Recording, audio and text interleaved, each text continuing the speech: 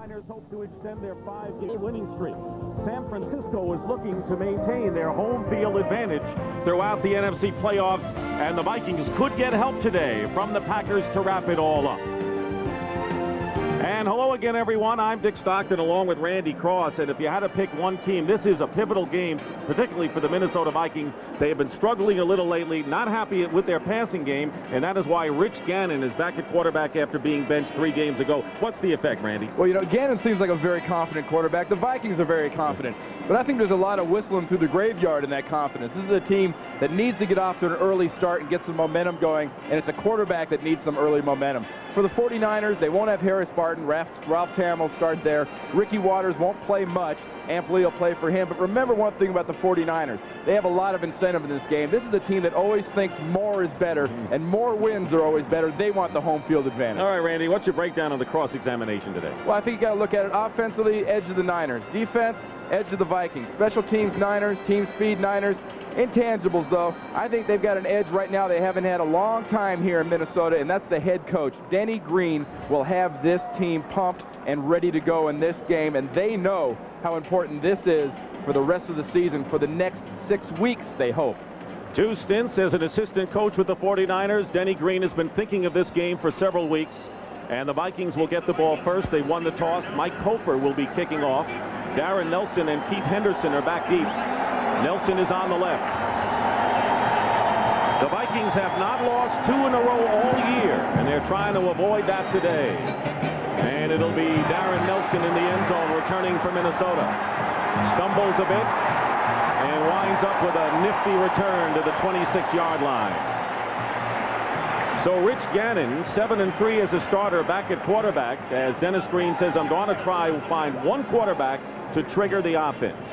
Zimmerman, McDaniel, Lowdermilk, Habib, and Irwin, a fine front defensive offensive line. Jordan, the tight end. Terry Allen, Anthony Carter has to handle a lot of the burden with Cris Carter out on injured reserve, Hassan Jones and Joe Johnson, the other wide receivers. First and 10 on the 26, and they start out with three wide receivers. Gannon will throw on first down, and it's nearly intercepted by Don Griffin. And there was a mix-up in the pattern apparently down the field. Defensively for the 49ers, and Michael Carter, who did not play against the Dolphins, is back in at nose tackle in their base defense. Linebacker to watch besides Tim Harris is Bill Romanowski, who plays on all of the many defenses of the 49ers. And in the secondary, Davis and Griffin, who nearly had the pick. At cornerback, Dana Hall and David Whitmore, who had fine games against Miami at safety. And this is an offense Minnesota has got to utilize their screen game against this aggressive defense of the Niners. Second down and 10. Four defensive linemen up front for San Francisco. Terry Allen out of the backfield with the reception. Bangs hard into Griffin. And maybe close to a, a first down. Picks up seven yards. And this is exactly the way the Minnesota Vikings want to attack this defense with the screen. And if you're going to screen, you go to the left because over there you've got Randall McDaniel, a great pulling, running offensive guard. You have Zimmerman, and these guys know how to get out in front of a running back and block. And if you're running screens and you've got corners and safeties making the tackles, you're going to get at least, at least six yards. And a good block by McDaniel on that play brings up third down and three. Minnesota fifth in the NFL on third down conversion. All three wide receivers to the right. And Gannon is in trouble. He can run, and he'll have a first down. If Randall Cunningham and Steve Young are the top two running quarterbacks in the league, Rich Gannon probably is number three as he picks up five. And you see Rich Gannon there. This is the kind of start Gannon has to get off to, something that gives him a little confidence. Throwing good completions, that gives you confidence taking advantage of good coverage by making something happen for your team is what Gannon needs to do in this game. He's got to be the spark. He's got to be the rallying point. He's got to be the guy they look to in the huddle and say he can make it happen.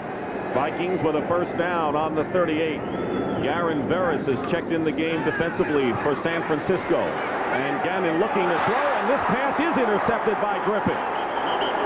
And it's a turnover, and the 49ers will have the ball in Viking territory as Don Griffin, who really not nearly had an interception on the first play, picks this one off. His fourth of the season. Well, he should have had the first interception, and here it's just a good job of a cornerback sitting on a pattern because he sees the pattern coming. He's done his study, and as soon as this ball is released, it is Griffin, not Hassan Jones, breaking on the ball and making the offensive defensive reception. Interception by Griffin, and the 49ers have first down on the Viking 49. Throwing on first down is Young, and the pass is to the tight end. Brent Jones up the middle, and a good gain of seven on first down. Del Rio on the stop. Steve Young, the number one rated passer in the NFL, but the Vikings are worried about his running abilities, will lead the 49ers. That is their defensive unit and will bring you up to date on their offensive alignment after this play. It'll be second down and three at the 42-yard line. Jerry Rice lines up to the left. Taylor to the right.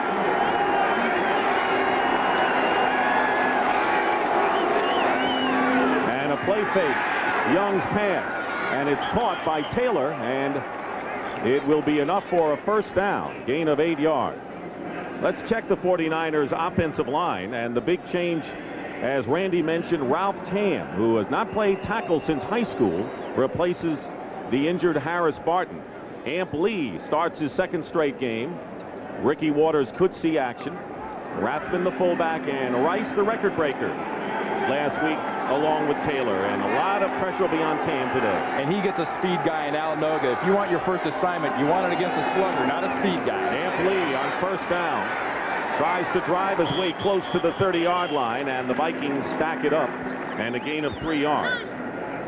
Viking defensively outstanding defensive line and the 49ers have to be concerned with the pass rushing of Chris Doleman and where he lines up.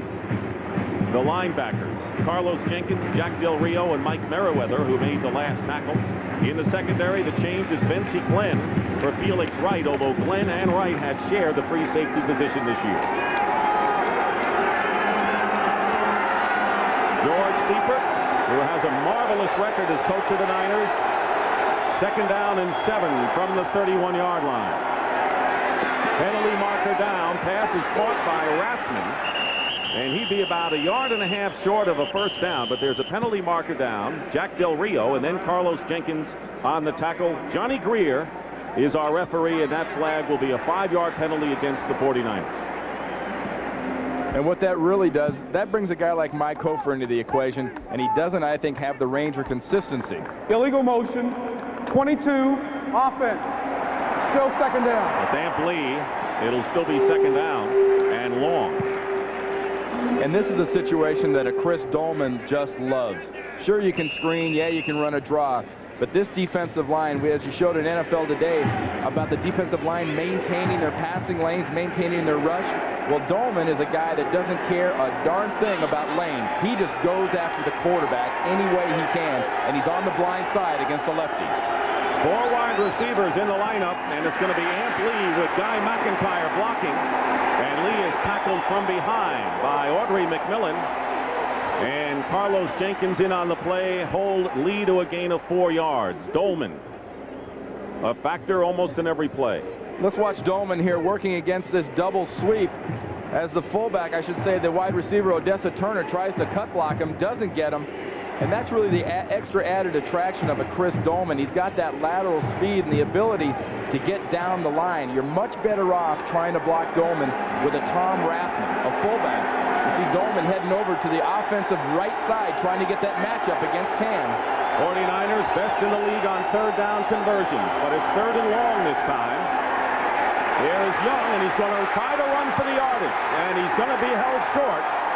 And it's Henry Thomas who made the tackle to prevent Young from getting the first down. And Mike Cofer will come in to try to put the 49ers in front. Nice job downfield coverage-wise on the 49er receivers. Forces Young to do this, which is get out. But they were in a zone defense. So the defensive backs and linebackers were able to fill up quick. See Doleman working on Ralph Tamm. Round one to Ralph Tamm there doing a good job against Doleman. Remember, Doleman's rushing over there in a very unusual spot. He's not used to being over there. I think they're better off letting Noga do it from over there. This would be Mike Cofer's longest field goal of the season. 46-yard attempt. It's a low snap, and the kick is long enough, and the kick is good. So Mike Cofer with his longest field goal of the season, 46 yards. And with 9.25 remaining in the first quarter, it's 3 to nothing, San Francisco. 49ers have the lead, taking advantage of the Don Griffin interception, and the Niners have done that a lot this year. Well, we'll make this 114 and move them now into second place and ahead of Minnesota off of that three points by Mike Cofer, and it bodes well for Cofer. Cofer is a kicker that needs to get off to a good start. He's had a problem this season and last season. When things start going bad, he starts pushing and he starts hooking, and to have his longest field goal of the season so far this early like this really pumps up a kicker. They're much like golfers. If a golfer can get off to a good start, he figures he can have a good round. Cofer will kick off, and back deep, it's Nelson and Keith Henderson. And this will be a line drive kick, tough to handle, and Darrin Nelson will down it in the end zone, and in the Vikings will start from the 20-yard line. It'll be interesting to see how Rich Gannon reacts. He was very shaky the first series for Minnesota. Well, actually, Gannon's going to be a guy who's going to get a little pressure, and he was able to scramble for a nice first down. He was able to flip that ball off to Terry Allen, but more importantly, he's got to get the coordination with the wide receivers. They don't have Cris Carter in there. He broke his collarbone against the Rams, and he's on injured reserve. He needs to get coordination with the receivers, and specifically the former big play guy who is now their big play guy is Anthony Carter. Carter is split wide to the right. Hassan Jones is in the slot, and he goes in motion. On first down, Terry Allen dives to about the 25. Allen has been the workhorse. He gained 82 yards and scored two touchdowns against the Eagles last Sunday. And this is the Niner defense that is ranked number one in the NFL against the rush. I mean, they've stomped on people with the rush, but, you know, I always look at that stat kind of funny. I guess I was an offensive player, so I think, well, unless you're in New Orleans or a big physical defense, the reason nobody can run against you is they figure they can throw against you. And the 49ers are ranked 28th against the pass. Two tight ends. The strong side is to the right. Second down and five. Here's a blitz on Gannon, and he reads it, and he End, out of the backfield. That'll be enough for a first down for the Vikings. Dana Hall making the tackle. They picked the blitz up well. Jack Burns came to Minnesota this year with Danny Green from the Washington Redskins. And the Redskins don't utilize their tight ends really that much. A lot of that has to do with the fact they don't have a great receiving tight end like a Steve Jordan. I think Jack Burns is lucky to be able to really integrate him into this offense. See Burns there with the headset on right in the middle of the screen. First down on the 31-yard line. Again, a double tight end alignment and pressure on Gannon. And this time the pass thrown behind Jordan is incomplete. He was open. And, you know, we talked earlier in the, in the open there of, of the game talking about the whistling through the graveyard thing, about the confidence of the quarterback and the confidence of the team. And we've seen Rich Gannon throw some balls right now early a couple of which, two of which should have been intercepted, one that was, and now one right behind him. He needs to go to the shorter drops, the confidence passes, dump them off, and don't forget the screen pass. And Roger Craig is making his first appearance of this game. Second down and 10. Darrin Nelson also joins him in the backfield. Craig gets the carry, number 33 with blockers in front of him. And you know Roger Craig is pumped up coming into this game. He came back from arthroscopic knee surgery and miraculously in less than two weeks had a twisted ankle but would not miss this game for the world. A gain of nine yards for Craig. We have two real physical, real quick pulling type guards. McDaniel here for the Vikings, Guy McIntyre for the Niners. Let's watch McDaniel. A guard that can do these types of things is irreplaceable. Can get out in front of the running back, can clear out that first blocker. If you can get that first uh, first defender out of the way of the running back, especially a guy like Craig, you buy your back at least four or five yards. Craig comes out. It'll be third down and one as Terry Allen is the lone running back. And on third and one, a rollout pass and a fine catch. And that'll be enough for the first down. Joe Johnson, the former Washington Redskin, on a good catch and a gain of four yards. And this is just a pure speed play to mess up the coverage. Johnson was in motion, went behind Gannon, and quickly uh, spurts right out into the flat. And there is no way that Hanks can get over there and make that tackle before they get a first down. Another good job of game planning. You know how the coverage of the other team is, and you take advantage of it. Joe Johnson acquired by trade from the Redskins, and that's the kind of offense that Dennis Green is modeling. First and 10 at the 45. Four wide receivers. Jake Reed is in the game. And up the middle is Allen, and he moved the pile for about three yards. As the Vikings get close to midfield, Mike Walter and Kevin Fagan make the tackle on Allen. And that 49er defense, I think, is at its strongest in the middle, especially with Michael Carter back at the nose position. You've got guys like Dennis Brown and Pierce Holt and Kevin Fagan and Michael Carter, and you see Ted Washington there, number 97. They're a defense you're better off outflanking outside and hoping you get some blocks out on the outside than trying to pound those big guys inside. They come up with four defensive linemen on second down and seven. Gannon with a quick toss. Hassan Jones dives forward. He's in 49er territory. And a gain of four yards. Merton Hanks and Eric Davis on the play. And Hassan Jones will have to bear some of the burden, too. We mentioned Anthony Carter with Cris out of there, but Jones could be a player as well. And what we've seen in the last few plays, Dick, is Rich Gannon going to the confidence passes. The Joe Johnson little quick spurter into the flat, a little quick one there to Hassan Jones start building. Get some little victories, build some confidence, and make the defense try to sort of suck up and stop the easy things. That'll open the things up down the field. On that four-man front, Martin Harrison, number 56, to the top of your screen for the Niners. Third down and three. And there's the rollout. Big pressure, and this time Joe Johnson dropped the ball. Gannon had to get rid of it in a hurry because of the safety blitz by Thane Gash. And it was actually a good job. Good job by Gannon getting that off. You know, see Joe Johnson's a little disappointed because from the left of the screen, here comes a 31 missile coming right into Gannon's face. He flips it off, and that's just purely a little concentration problem. The ball's a little behind him. That's definitely a ball Joe Johnson should have caught. Harry Newsome will punt for the Vikings, and Alan Grant goes back deep for the 49ers. Newsome, leading punter in the NFC.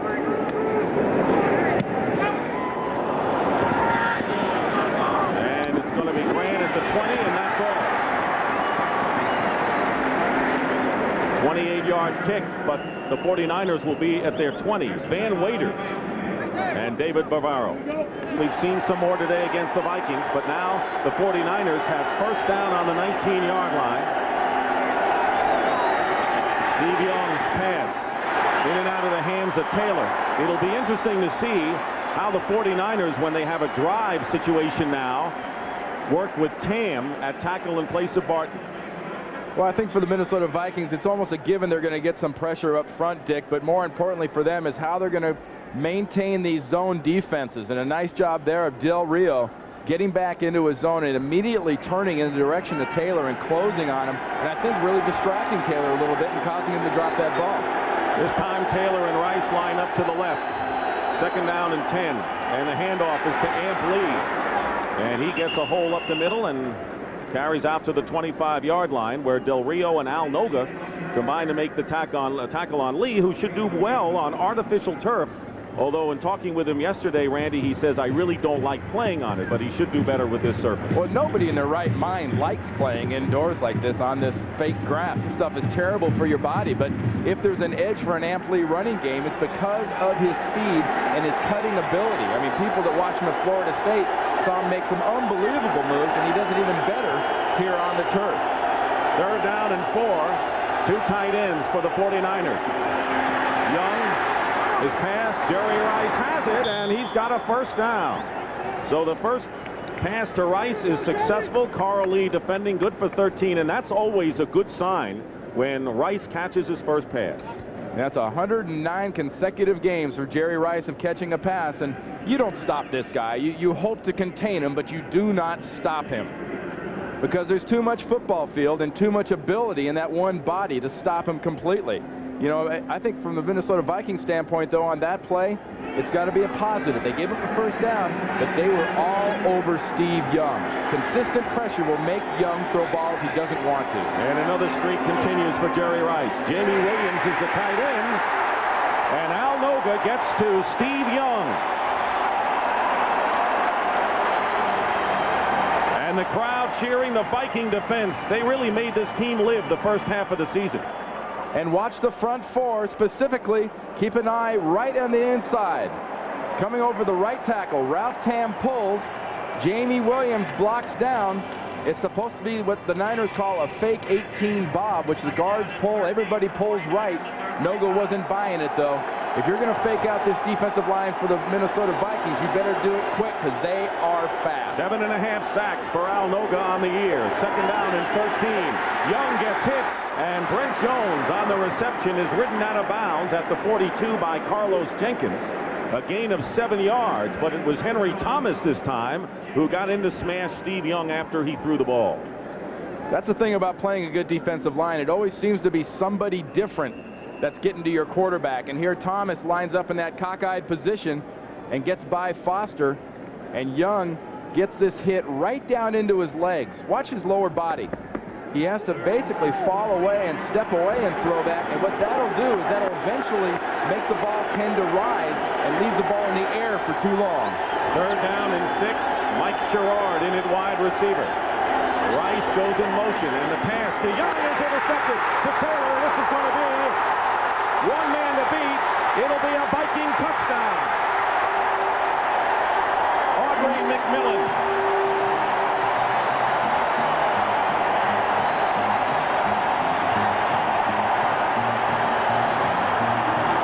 That is the Vikings' eighth defensive touchdown of the season. And McMillian with his second TD interception of the year.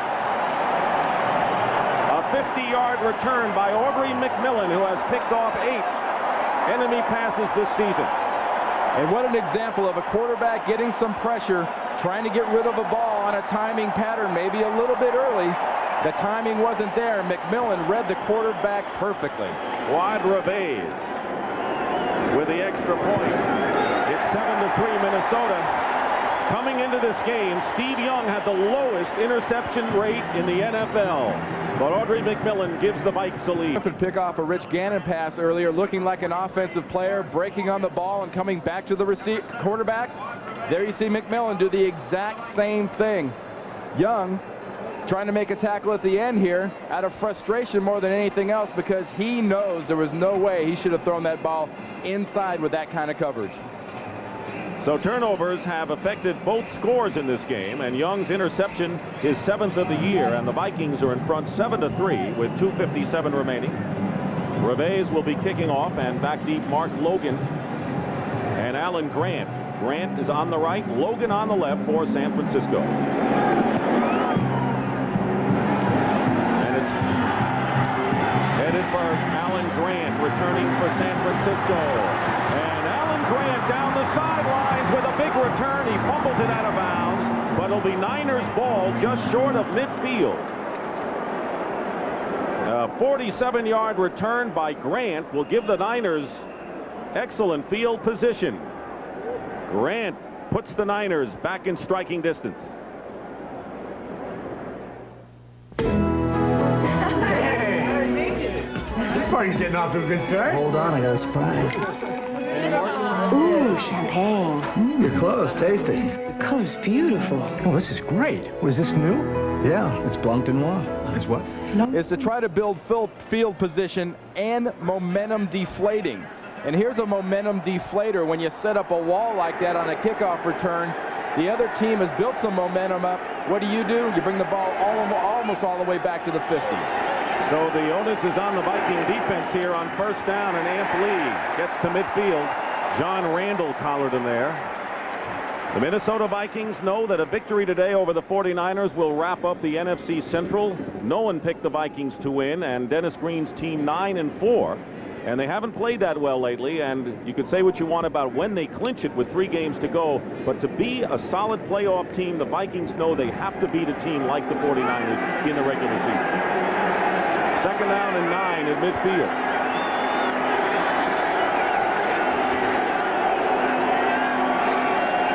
Rathman, the fullback, goes in motion. A lot of receivers for Young, and he finds Brent Jones. Like a pinball machine, he bounces off some defenders and dives inside the 35-yard line. A pickup of 16 yards. How valuable is Brent Jones? It was Glenn and Merriweather on the stop. Well, it's good to see a tight end like this in an offense. I'm getting sick and tired of these glorified offensive tackles playing tight ends in the NFL these days. Here's a guy that can block, and he can get downfield. He can take a hit, and he knows what the right direction to take the ball in. It isn't down on the ground. It's take the hits they want to give you, but get as many yards as you can. First down on the Viking 33. 7 to 3 Minnesota. Young looking upfield. He's going deep for Jerry Rice. Audray McMillian was covering him, and then it was Vencie Glenn. They finally put two men on Jerry Rice as Young was going for the downs on that one. Well, Young gave him the pump and the double move and everything else, and, and to McMillian's credit, he did not even bite on it. It was a nice job by him staying with Jerry Rice, ignoring the fakes, ignoring the opportunities to let Jerry Rice go. Steve Young's getting a little bit better protection right here. There's the pump. Here comes the ball. But look at the position of McMillian. Good job by McMillian. He's got the, the poise to know you don't let this guy run around by himself. You at best stay close to Jerry Rice. Two tight ends for the Niners. Second down and 10.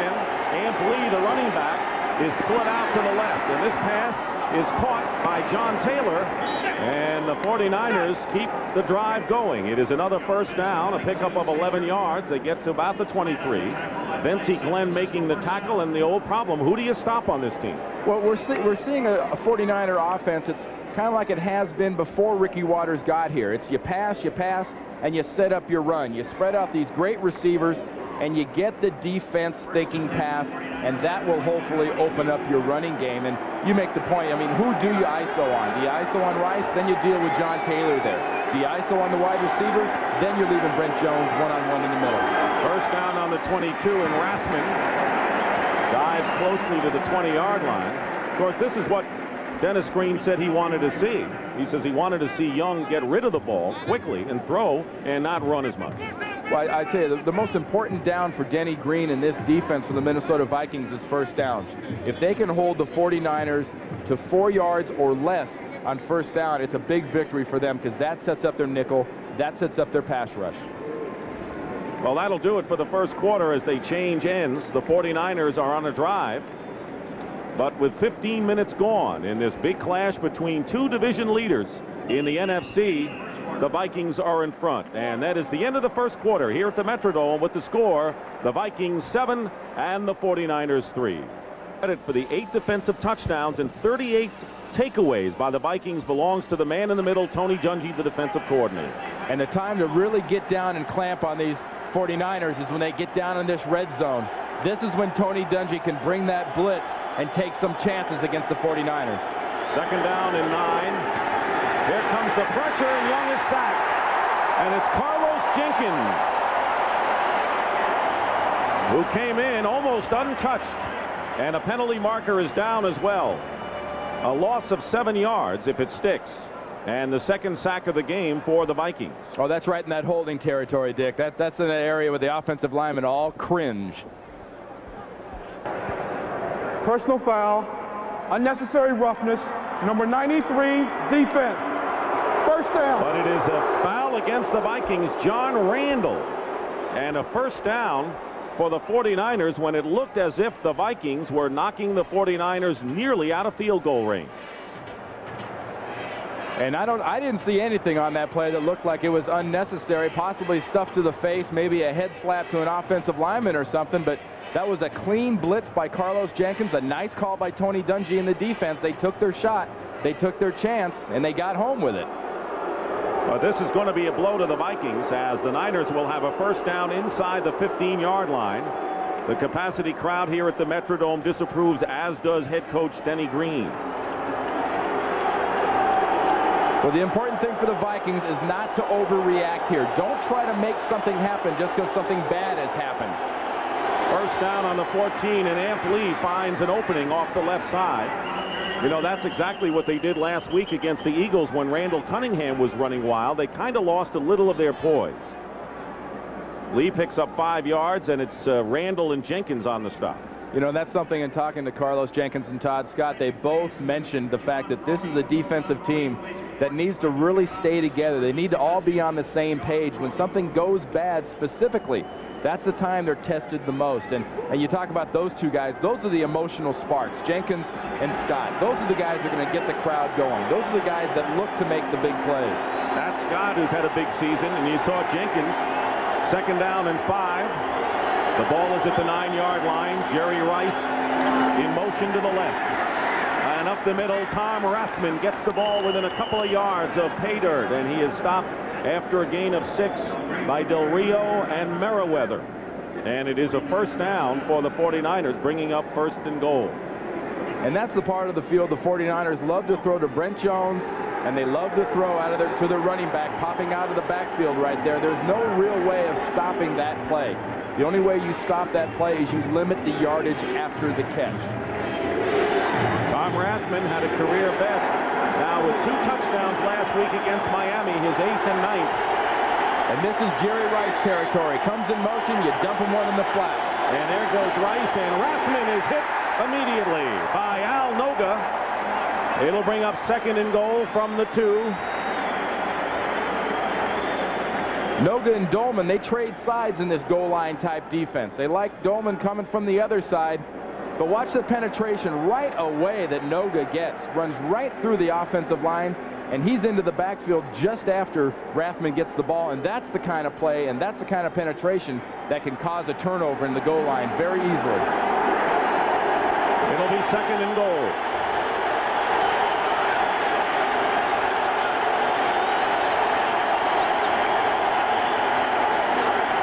Play fake, and the pass and Amp Lee will have the touchdown.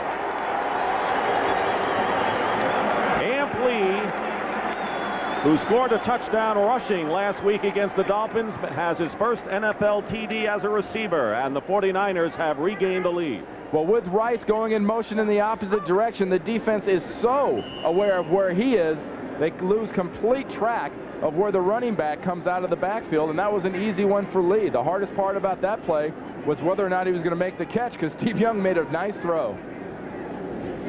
Amp Lee filling in for the injured Ricky Watters, who has a shoulder injury and could see action today. Mike Cofer, who has missed one conversion. That was last week against Miami. Comes back, and the extra point is good. So early here in the second quarter, the Niners regain. in the penalty against John Randle for unnecessary roughness.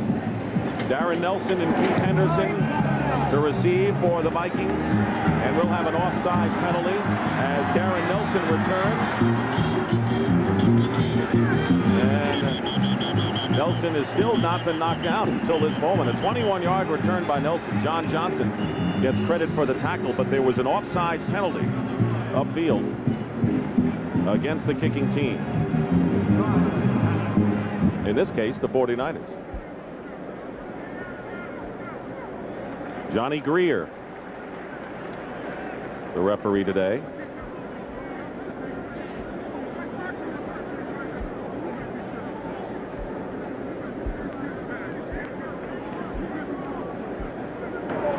Offside, right side of the line on the kicking team. We'll re-kick. Let's take one more look at the touchdown. Watch Jamie Williams and watch Vencie Glenn. They'll go out of the picture for a second. Next time you see Vencie Glenn, He'll be getting bumped in the end zone by Jamie Williams. This is what you might refer to as a pick play.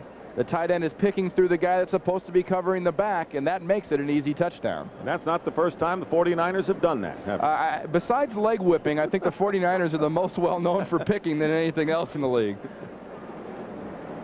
Question is, is Dennis Green bringing that uh, format to the Minnesota well, you know, the best thing about Denny Green, in my opinion, Dick, is Denny Green is doing Denny Green's thing. I think it does George Seifert, Denny Green, Mike Holmgren, Sam Wyche, all these so-called, they, they call them Walsh proteges. It does them a big disservice. These guys are strong coaches that should stand on their own merit and should not constantly be associated with somebody they all happen to work with because they're all, they're all developing their own identity. Denny Green brought the Redskin offense in here. He's got a defense looks nothing like the 49er defense. This is Denny Green's team. Jack Burns came from the Redskins. His offensive coordinator, Tony Dungy. Cofer kicking off for the second time, and this is a short kick, and Darrin Nelson running up to return. Darrin Nelson. Can still do it, can he? Brings it out to the 40-yard line. Remember, he's playing his last season for the Minnesota Vikings. He was recruited by Dennis Green at Stanford and returned by 22 yards. Thane Gash made the tackle. Well, coming up next, the second half of our CBS doubleheader and a big one. The Dallas Cowboys against the Washington Redskins. Opening game of the year. Redskins had no shot. I think they'll have a better shot today. Well, they were intimidated by that Dallas crowd. They'll have the crowd on their on their side this time, but that game would be decided on the ground. That is a defense in Washington that can stop Emmitt Smith, I think, especially in RFK. Roger Craig is the setback. First down on the 40. A play fake, and wide open was Joe Johnson. Gannon missed him, and he is being chased out of bounds by Tim Harris. A one-yard pickup, but I saw Joe Johnson wide open 20 yards downfield. Well, maybe you should have had the ball then, Dick. If you saw him, he was that open, give him, give you the ball. But Gannon had a play fake, not a play fake, but a little pump fake action, and that's, I think, what opened up Joe Johnson so quick right there, and he just didn't see him and was not getting much pressure. Second down and nine. Vikings on the 41-yard line. Four wide receivers, including Jake Reed, number 86, to the bottom of your picture. And it's Roger Craig. Bounces off one defender, and Craig gets into open field.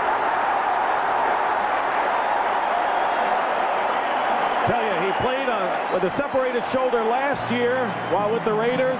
He's been hurt, twist an ankle, and he still picks up 21 yards on a terrific run. I never get tired of watching Roger Craig run. Does he have any quit in him? I don't know. You tell me. He's banged up. He's hurt. He slams the line of scrimmage, and those trademark high knees never stop pumping. This is the last guy the 49er defense wants to get on a roll because he can absolutely kill you with the momentum he gives an offense.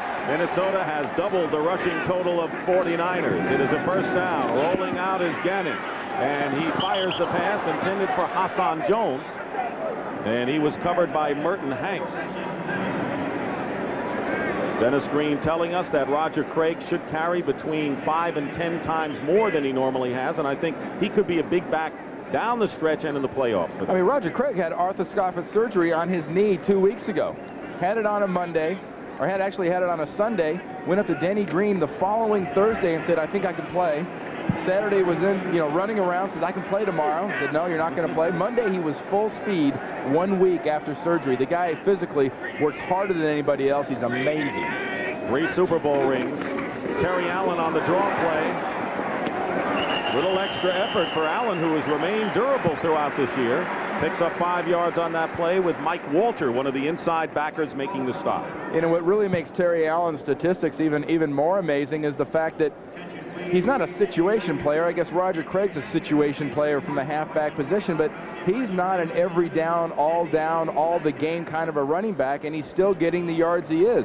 I mean, with this offensive line and the right breaks in the last three games, he should have a 1,000 yards this season. Vikings have converted two of three on third downs. They need five yards. Penalty marker is thrown, and Gannon's pass extends Hassan Jones a little bit too much. He was defended by Merton Hanks, but there's a flag down at about the 35. And Gannon was forced to hold on to that ball for a little bit longer than he wanted to. Had to let that ball float out of there just as the rush got to him. 10 to 7 the score in favor of the 49ers. Well, you either take the penalty and push him back five yards or you make him kick a field goal. Illegal motion, offense, two men moving. It's declined. Fourth down. Fuad Reveiz' longest field goal was from 52 yards. He is perfect beyond 50, and he's going to go try it again. He has been an outstanding long kicker, helped, of course, by kicking indoors here at the Metrodome. Kicking is still kicking, Dick. I mean, you talk about Candlestick Park being a bad place, and Lambeau Field's a bad place, and the Met, I mean, the, the Vet's a bad place to kick, but here's a guy that's got plenty of leg, and watch how well he drives down through the ball. 51-yard attempt with Newsome, the punter, holding on the kick. And the kick is underneath the crossbar. So Reveiz misses the field goal And as a result, the 49ers maintain their three-point lead with just inside 10 minutes remaining in the second quarter. And Henry Thomas jumped. Was he drawn off? And apparently he was.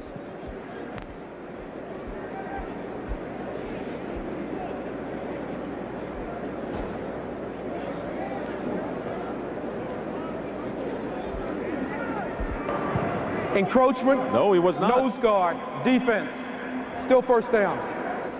We got to introduce these two guys. That's Henry Thomas. We'll ID him for you. Nose, that sounds kind of impersonal. That's kind of like college when they used to just say offside or holding offense. I always liked that, though, because they could never they could never put a finger on you. Especially when they play four defensive linemen up front. First down and five as a result of that penalty. On the defense, Young to Jerry Rice after the catch. Let's see what he does. And he gets to the Viking 40-yard line on a perfectly executed precision slant pass, a 21-yard gain.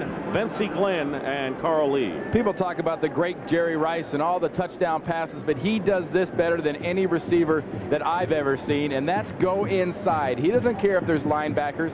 He doesn't care that crossing patterns is where you get get knocked in the chops the most. This guy is absolutely fearless. Hits do not intimidate Jerry Rice. Jerry Rice is one yard away from tying Lance Alworth with the NFL record for seven straight seasons of a 1,000 yards or more. I think he should get that record. First down. And the pass is caught by Rice. And Rice picks up five there. Del Rio on the tackle, so Jerry Rice seven straight years has gained a thousand or more yards. We talked about how tough he is. He gets slammed around a little bit and gets up smiling. Watch Carlos Jenkins right there. Smacks him, arm over. If you're going to smack Jerry Rice, you better smack him a little bit harder than that. And if you're going to do that, you better stay with him because he'll find a way to get open, especially when his quarterback's getting pressured, as Steve Young was right there. He's in pretty good company, Mr. Rice. Second down and six the Viking 36-yard line. And here's Amp Lee. This time he had to pick his way, and he got seven yards on that play with Glenn and Noga making the tackle. Well, we talked about the moves that an Amp Lee can make on this carpet here in, at the Metrodome. Watch Merriweather, 57, coming forward to make the tackle. I got him, I got him. Uh-oh. you can't, you know, you got to attack a guy like that almost like in a phone booth. If you get outside of a phone booth with a guy that can get that much momentum going and make those cuts can make you look pretty silly. Right now, the 49ers with two pretty good drives in their last two possessions, and the Vikings not putting great pressure on Young. First down on the 29. The audible here. And here's Jerry Rice. Gets away from one defender. McMillian had him and lost him, but then the Vikings came in, a gain of nine yards, and very close to another first down.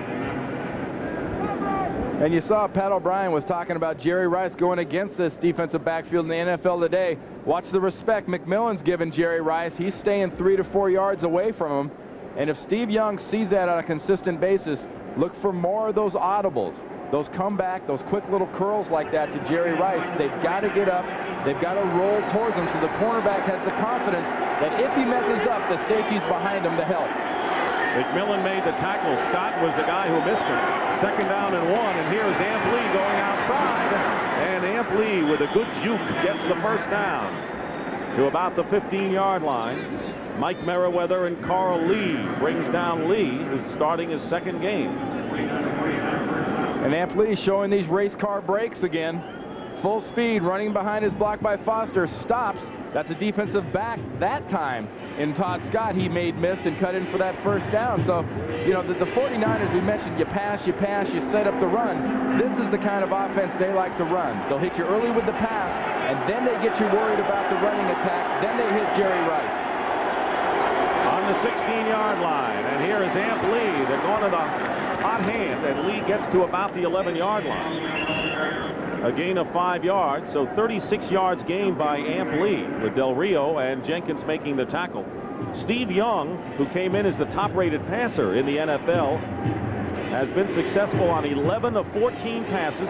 He's over 100 yards, has thrown a touchdown pass and also an interception, and that resulted in the only Minnesota score. And if he keeps up the way he has, I think, here in this season and can finish off the last two regular season games after this as strongly as he has played the rest of this season, I, I don't think there's any doubt he is the NFL MVP and the MVP with the least respect around the league because he followed Joe Montana. Emmitt Smith would be the only other candidate, and there is a flag again as Chris Doleman was anxious to get into Young's territory.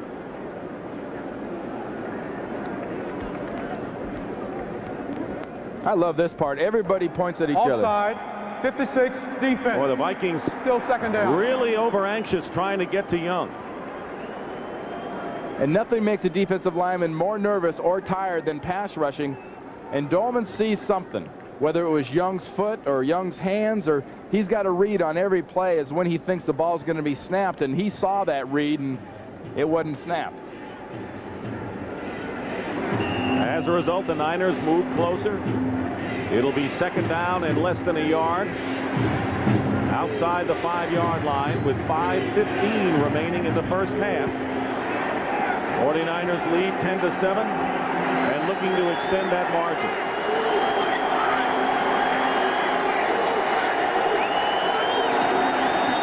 And there is Young on a carry. Was, was that a blown play or not? He may have the first down anyway with Noga and Scott defending. I, I don't want to say it was a sense of panic, but it was more of a sense of urgency when Steve Young reversed out, looked, saw he had nobody to hand the ball to, and then ran for the first down.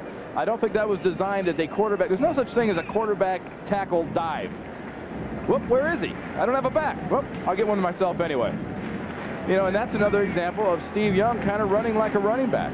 He wasn't sliding. He was going head first, and he was going for the first down. When he runs, he's looking to score a touchdown. First and goal at the five. Two tight ends for the Niners. Rice moves left. And Amp Lee. Vikings had a shot at Amp Lee at about the line of scrimmage, but he sliced into about the two-yard line. And Al Noga did another nice job of penetrating over there on the left side of the Niners offense, getting into the backfield. But once again, Amp Lee was able to sort of power break his way through the trouble and score it up there for a game. How about the depth of these 49ers? I mean, with Taylor out for a while, Mike Sherrard did the job. Odessa Turner is the fourth wide receiver. Here, Ricky Watters, who is within earshot of a 1,000 yards, is replaced by Lee, who's having a fine game. And one thing that running game does do to this kind of an offense, it opens up the play action. Second and goal on the two-yard line. And here is Lee, and he will easily score his second touchdown of the game. Was too easy. And Ralph Tamm blocking up front. As he heads this way, watch how easy this all is. Watch the entire defense collapse in. Here they come. Good job by Rathman. Nice job by Foster pulling from his right guard position, and that's easier than you draw it up. That's what you call best case scenario offense because all those little circles you draw up on paper got the other circles just perfectly. So now Mike Cofer is aboard, and it is now 17 to 7 as Amp Lee has scored his second touchdown. So the Vikings missed a chance to tie on a field goal, and the Niners came shoulder injury, needing 15 yards for a 1,000 on the season, and Amp Lee, who has scored two touchdowns already for the 49ers today. And they've been two touchdowns, one on the pass on that pick play by Jamie Williams that looked easy. And the second touchdown on that run was just because of some great lead blocking by Tom Rathman and Roy Foster. Cofer will be kicking off. Henderson and Nelson are back deep. 10-point lead for the 49ers. And it'll be Darrin Nelson returning from the one-yard line. Nelson brings it out to the 21-yard line. So the Minnesota Vikings looking to get back with 3.19 to go in the half. And company is they've got to put something methodical together. And a lot of that goes to the offensive line. You see the offensive line for the 49ers. The Viking offensive line has got to establish the running game and has to establish Rich Gannon's confidence in knowing that he won't be hit and he can complete the passes. Steve Jordan, the tight end, is split wide left on first down. Gannon gives ground and dumps it off to Allen, who falls. Now they say the pass was not caught by Allen, an incomplete pass, and that'll go to the Vikings' advantage that it was incomplete. Well, that's the Vikings play. That's one thing they run well. You saw earlier in the year they tore Chicago up with these little screen passes to Terry Allen and Roger Craig, but a good job by the 49er defense. You see Mike Walter and Bill Romanowski were right there, and Allen didn't get a chance to catch that one, but they can't forget about that play. Minnesota has got to use that play. If they can't run, the screen is as good as a good running play. Vikings have had the ball, or the Niners have had the ball for 18 of the 26 and a half minutes. Second down and 10. Gannon's toss. Joe Johnson, and it's a good catch by Johnson at the 25. David Whitmore was closest to him. So the Vikings offense has really not done anything. They've not had the ball, and the only points that they have amassed came on McMillian's interception return. And let's check this out. How good a catch was this? Stretching. There's a clinic for you. Did you see that right foot? I mean, if you're out there and you want to be a wide receiver, you're a young guy, what presence of mind. Your one foot's down, you catch that ball, and you drag the other one. Just a fine example. Third down and six. Gannon on third down, and he hits Carter, but he bounces off, and Allen, that is, Terry Allen, but he is short of the first down, I believe. Let's see if the second effort got him close. Well, somebody There's a penalty marker there. Somebody's second effort got a got a nice little flag flying through there. It was a, it was an all-pro kind of a flag too. That thing went about 40 feet in the air. Right now, where they're spotting the ball, the Vikings would be a bit shy of the first down. But if the penalty is against the 49ers. Personal foul, unnecessary roughness, number 21, offense.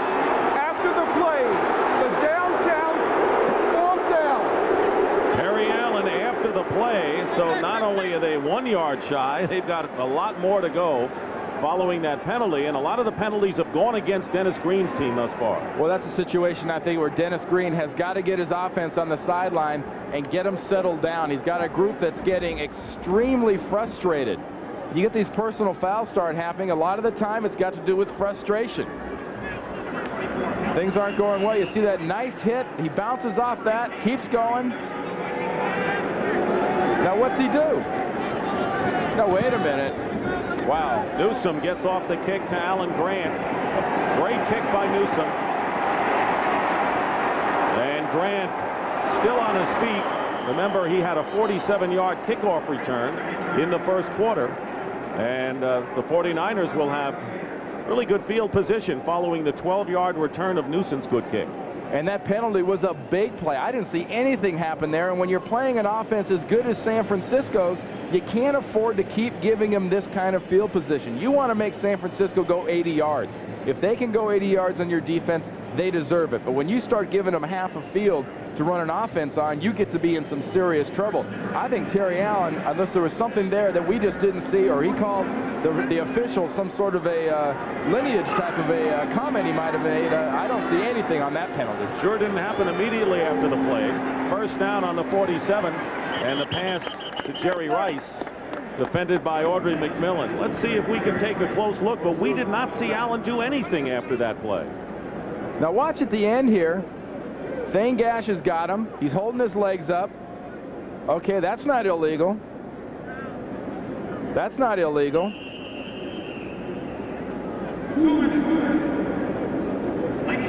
What exactly is illegal about that? That was a terrible, terrible call. Two-minute warning here at the Metrodome. It's been all 90 Miners. Great example here. They've got to focus. Second down and one. Amp Lee. And a tackle, shoe-top tackle by Del Rio. Let's see if Lee got enough for the first down. 150 showing.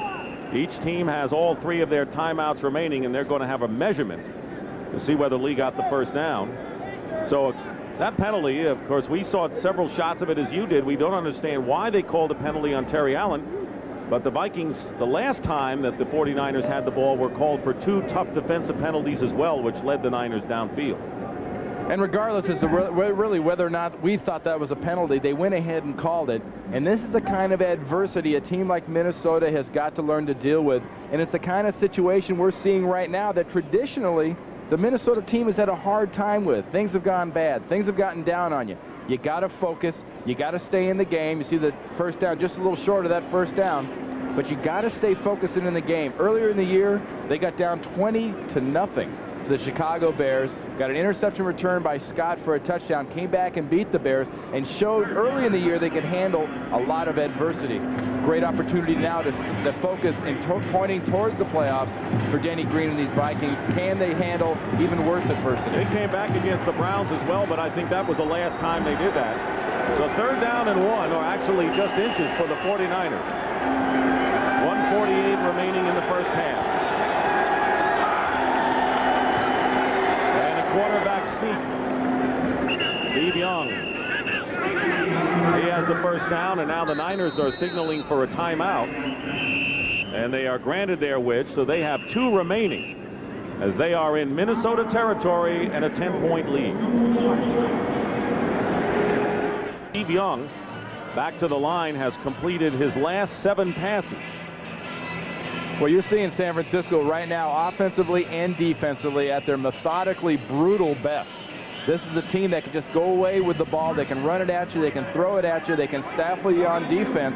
Minnesota needs a big, big play from the defense here with two timeouts in a minute and a half. That's plenty for Steve Young. From the 42-yard line, and the pass is to John Taylor, who gets Amp Lee, who gets inside the 40-yard line and a pickup of four yards. Clock Continues to run, winding down to a minute and 20. It'll be second down and six. He swing it out to Amp Lee again. And he is knocked out of bounds with 112. No gain on the play.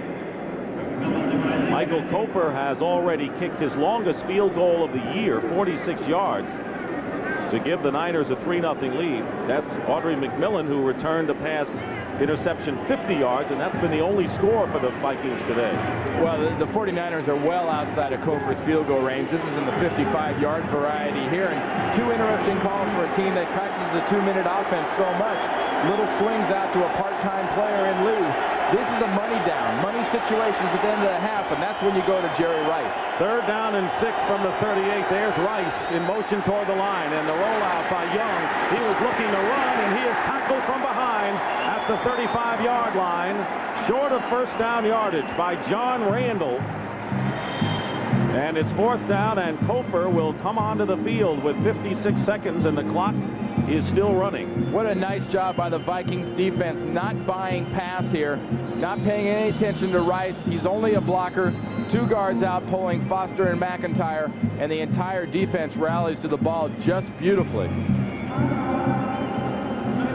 And the Minnesota Vikings have called a timeout to stop the clock with 46 seconds to go because they'll have the ball again for less than a minute to try to get something going after Cofer's field goal attempt. And this is very much a bet, you know, they need everything perfect from the 49ers standpoint for Mike Cofer to make this. He's got the leg. It's been the accuracy has been his problem. And they need the perfect snap, the perfect hold, and for Cofer just to nail this one. From the Vikings standpoint, how many times have you seen a Minnesota Vikings team block a field goal, block a kick in a big situation like this? They've got a long, rich tradition of special teams excellence.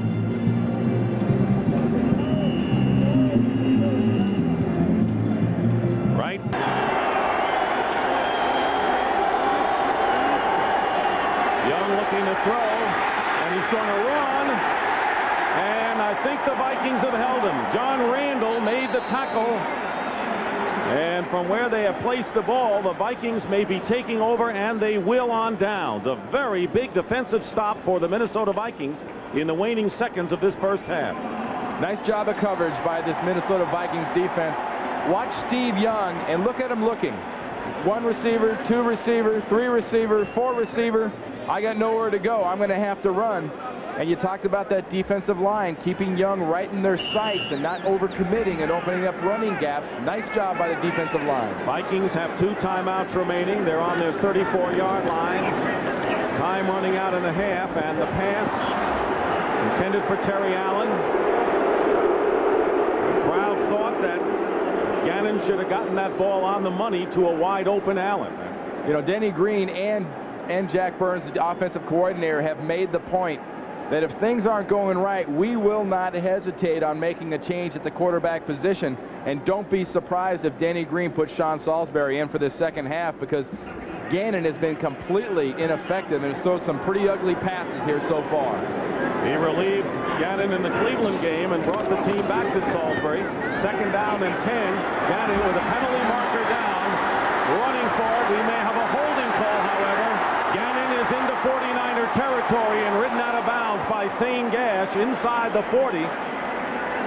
But there's a flag, and let's see if it is holding against Minnesota after Gannon ran for 27 yards, and it is holding against the Vikings, and they'll bring it back. Niners, that may be a good idea for him to start doing. Well, like Satchel Paige said, if you look over there, something might be gaining on you. Well, something's Sean Salisbury. Second and 20, and here comes the pass rush. Gannon running for his life. He's tackled way back at the 26 by Romanowski. And a gain of two. Clock will stop with nine seconds remaining in the first half, but the Vikings nowhere near close to threatening to put any more points on the board. Well, we're seeing the 49ers put some good pressure up front with their pass rush on Gannon and doing an even better job right now down the field. As the Viking defense is covering well down the field in most cases, the 49er defense is taking all of Gannon's receivers away. And you see George Seifert and Jeff Fisher, their defensive back coach. I mean, those are the guys, their emphasis right now on this team is on defense because they know that this is the side of the ball, if they can keep improving on, will make them a team that'll be incredibly tough to beat. Receivers have caught only three passes for 13 yards, and Anthony Carter has been shut out. Nine seconds to go, and on the draw play, Terry Allen is going to be wrestled down, and that should do it.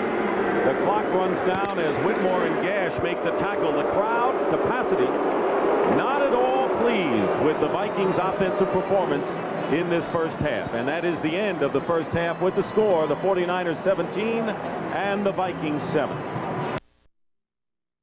Young has had a marvelous day. In fact, he has completed his last nine passes, and the Niners have a big edge in ball control, and that could spell good things for their running game in the second half.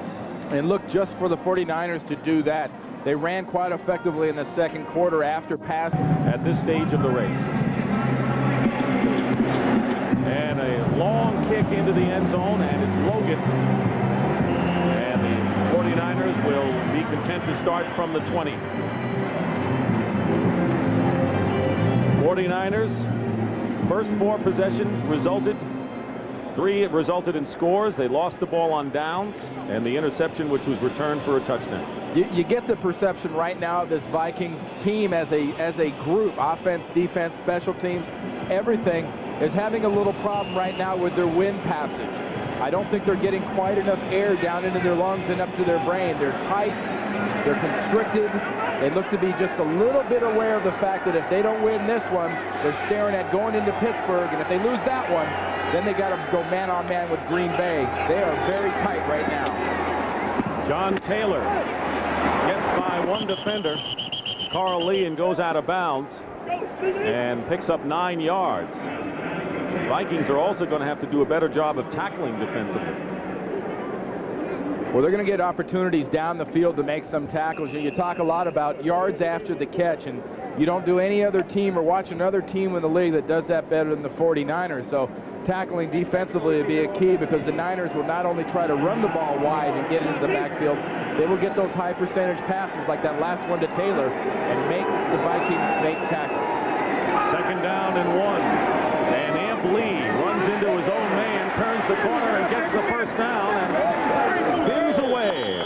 Fine exhibition of running by the second round draft pick from Florida State. Amp Lee picks up six yards. Finally, Vencie Glenn made the tackle. You know, you talk about Jerry Rice an awful lot, you know, the great patterns he runs and how many touchdowns he scores, but watch what he does away from the ball. Right here.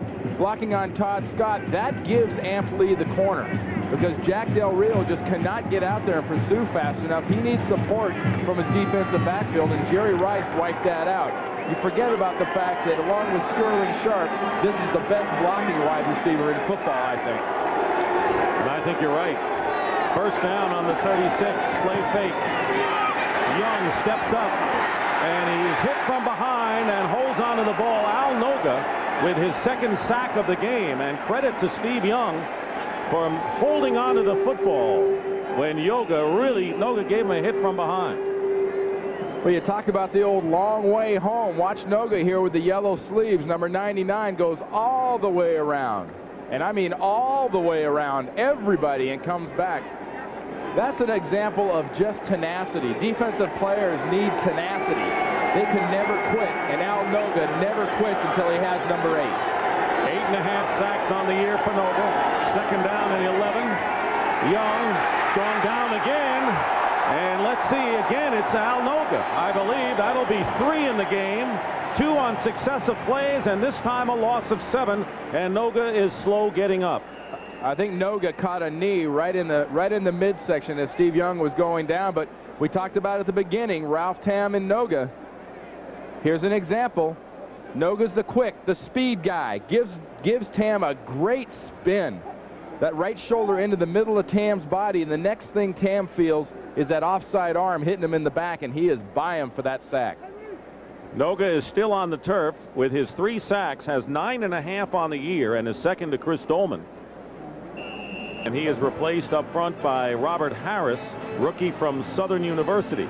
And if you're on a roll rushing the passer, as Noga was those last two times, this is the down you don't want to be out.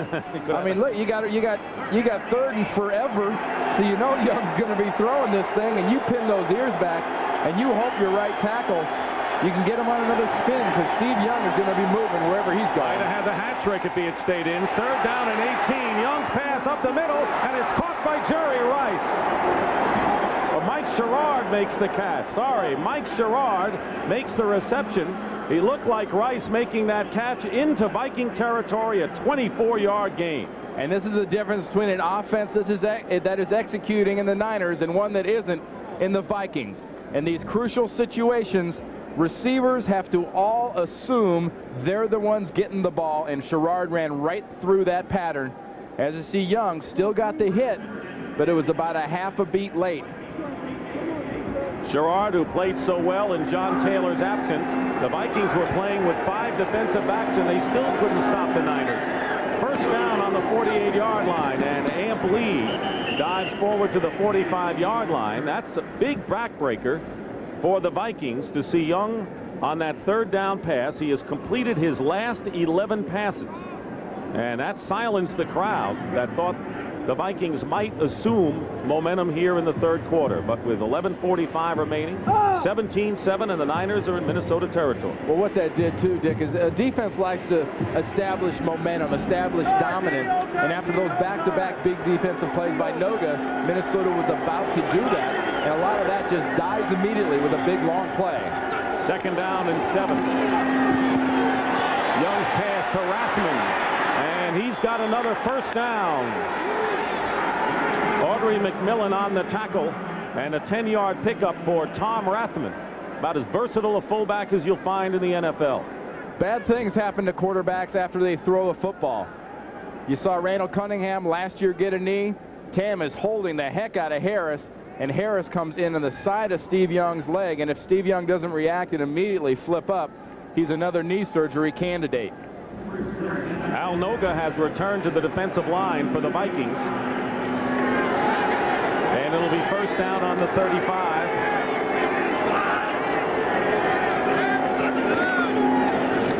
Here is Lee trying to change direction.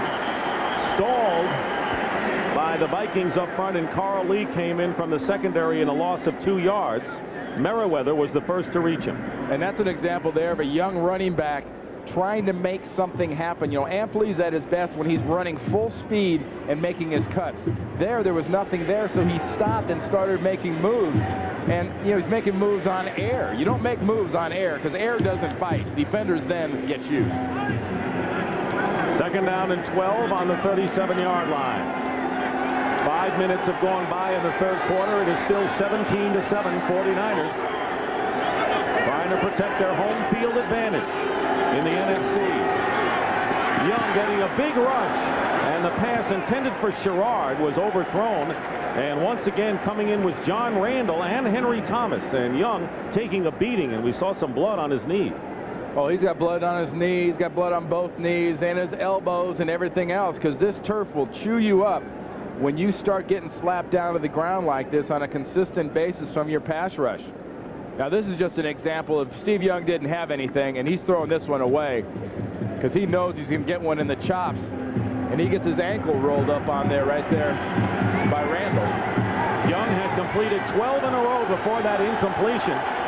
There's Henry Thomas, who was also part of the action. Third down and 12. Odessa Turner in the game, in motion. Penalty flag down. Jerry Rice up the middle has it, and he'll outrace the defense for a touchdown. But there's a flag down, and we'll see. I think it's going to be offsides on the Vikings, Dick. You had some jump by Al Noga. And no, I think the penalty Judging by Young's reaction is indeed against the 49ers. Good break for the Minnesota Vikings. The Niners jump on offense on a big play as the Minnesota Vikings were bringing that blitz. Illegal motion, 64, offense. Well, that's Ralph Tamm. Ralph Tamm starting at right tackle for Harris Barton today. It doesn't take much. It's usually just a quiver. Watch the high side, 64. Little pre-snap move. As he saw Noga jump, he quivered his upper body a little bit, and that's what it took. Tamm, who's a journeyman, played with three teams last year, was a starter at guard two years ago with the Browns, and a Plan B pickup this year from Cincinnati. Third down and 17. Anthony Parker is in as a fifth defensive back for the Vikings.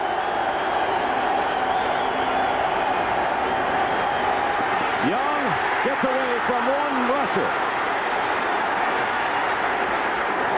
He can run, but he can't hide, and the Vikings close down on Steve Young, knocking the Niners out of a possible field goal attempt. No gain on the play. It was Henry Thomas and Chris Doleman that time. And with a little help from Ralph Tamm and an illegal procedure penalty, Minnesota dodges a big bullet because Steve Young had done a good job of reading the blitz two plays earlier, but give a lot of credit to Chris Doleman and Al Noga and Henry Thomas and John Randle. They're the ones that made the biggest difference on this drive because when they weren't sacking Steve Young, they had the offensive line so worried about the pressure that you had guys moving. Klaus Wilmsmeyer will kick for the first time today. Joe Johnson and Anthony Parker are back deep for the Vikings. And he shanked it, and it goes out of bounds. Wilmsmeyer shanked his first punting attempt of the day, and it goes out of bounds. But getting back to the penalty story, certainly the Vikings had some bad breaks from their standpoint in the first half. That kick went only 13 yards. Will Game, who's supposed to be an important receiver. Some pressure. I think if he doesn't produce on this series or next, the next one at the latest, you got to yank him and give your team a chance to win. First and 10 on the 29. Darrin Nelson goes off the right side. And Nelson with a great bit of running after one defender had hit him. David Whitmore makes the tackle and a gain of four, nine yards for the veteran. And here's a little Minnesota Vikings mush over the right side behind Habib and Irwin and Jordan. Pulling back side was Zimmerman and McDaniel. Now, now this is just attitude by Nelson. Good blocking to start with, but Darrin Nelson just decided he wasn't going down. And the give up the middle. Darrin Nelson has enough for the first down beyond the 40-yard line. This is his last year, and he said that the best game the Vikings played was that 1987 contest against the 49ers in the playoffs. I find it kind of interesting that he starts the second half. I guess Denny Green figured they needed a little spark. Terry Allen and Roger Craig hadn't performed poorly. The last time I checked, they hadn't thrown any passes in that first oh, half. Craig is in there now. First down on the 41. And here's Roger Craig trying to go outside Penalty marker down, and Craig is ridden out of bounds finally by Dana Hall, but there was a flag and a gain of 12 pending the penalty. That's in a holding area, yep. Holding against the Vikings, but they're trying to come out here early in the second half and establish some physical dominance offensively. If you're not running the ball effectively, you're sometimes better off just trying to pound the ball physically on offense and get the defense on their heels. Holding, 64, offense. Still first down. And that's Randall McDaniel. But interesting, Randy, how Dennis Green is not pressing any panic buttons. He's down by 10. That's not a lot of points. And instead of just coming out and forcing Gannon to throw where he hasn't been sharp, he wants to establish something with the running game. Well, they need to establish something offensively, period. And you might as well start with the run. You saw the 49ers in the first half establish their offense with their passing game, then go to the running game. Minnesota's trying to establish the run and hope that opens up their pass. They may be forced to throw. First down and 20, and the pass to Anthony Carter, splitting the middle.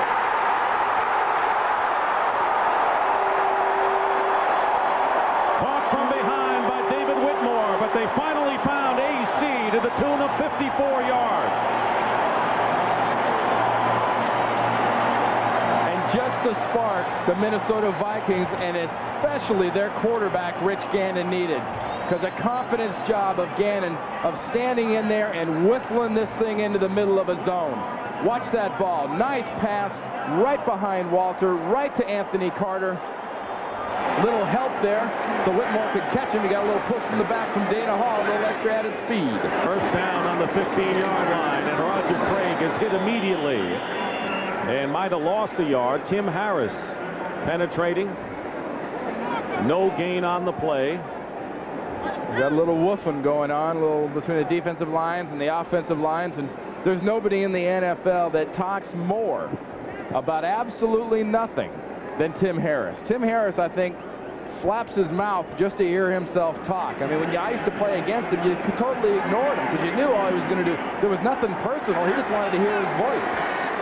He established that with Green Bay and has brought it along to San Francisco.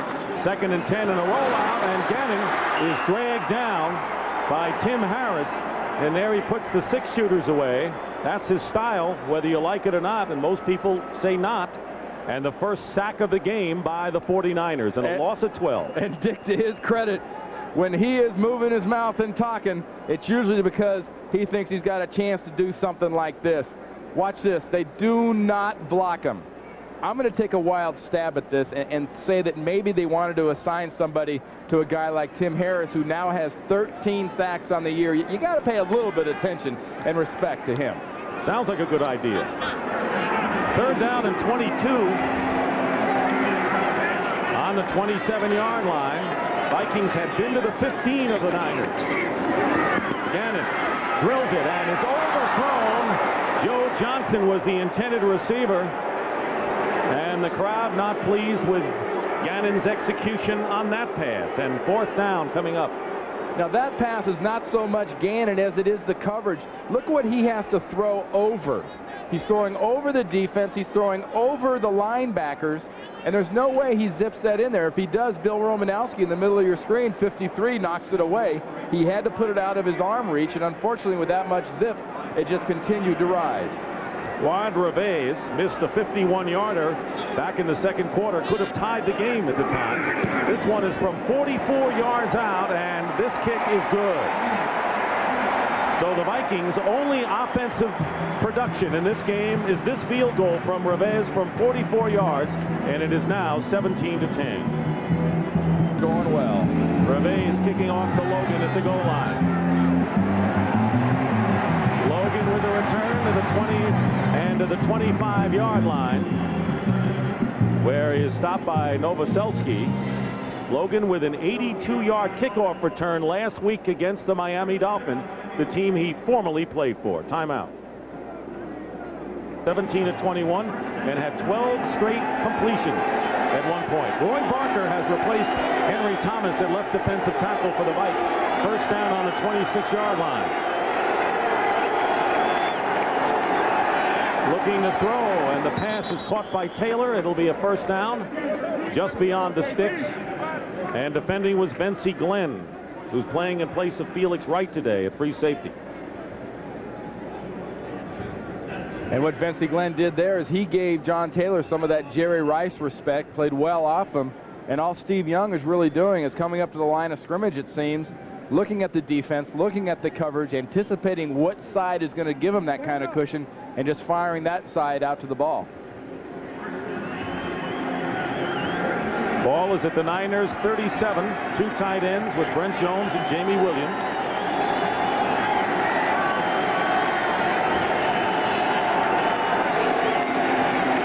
And the handoff is to Amp Lee. Cutting inside. Amp Lee gets away from three or four defenders. And is now racing. He's got Vencie Glenn, the one man to beat, and goes out of bounds. Lee did a lot of that, and the Vikings hurt themselves with some weak tackling downfield. A gain of 43 yards for Amp Lee. What really hurts the Vikings here is the standpoint of the pursuit that comes from the inside of the defense this way, and watch the block by Roy Foster leading out here in front of Amp Lee. Watch this, one-on-one -on, -one on Lee. Carl Lee the corner, there goes Amp Lee. Now it's just athletic ability and Amp Lee God-given talent making this happen right here. Now, if you if you want a pursuer, you want a pursuer number 92 and not number 25. You might get away from 92. The 25 forces him out of out of out of bounds with Vencie Glenn. He has 90 yards and now a chance for more on the pitch. Amp Lee making the miss, and he picks up good yardage. Amp Lee with 43 yards on that last carry matches the 49ers high for the year. Ricky Watters had gained 43 on a carry earlier in the year. And Amp Lee having a tremendous uh, game, just one yard away from the 100 mark. And in talking yesterday to Jesse Sapolu, the 49ers center, he looked at us, he goes, look, we get Amp Lee 100 yards, we will win this football game. And when you play against Minnesota in this style of an offense, if you do get a running back 100 yards, that puts such incredible pressure on the pass defense. Things start to open up. Tom Rathman has a stinger in his shoulder. They hope he can get back. Lee bounces off the defender. And Vencie Glenn brings him down inside the 10-yard line. They are working Amp Lee, the rookie, and he picks up five more yards, so he's over the 100 mark. Well, last year, John McVay and this 49er organization drafted Ricky Watters and Amp Lee and figured, hey, we're going to help ourselves. Well, last year, they both went down with an injury.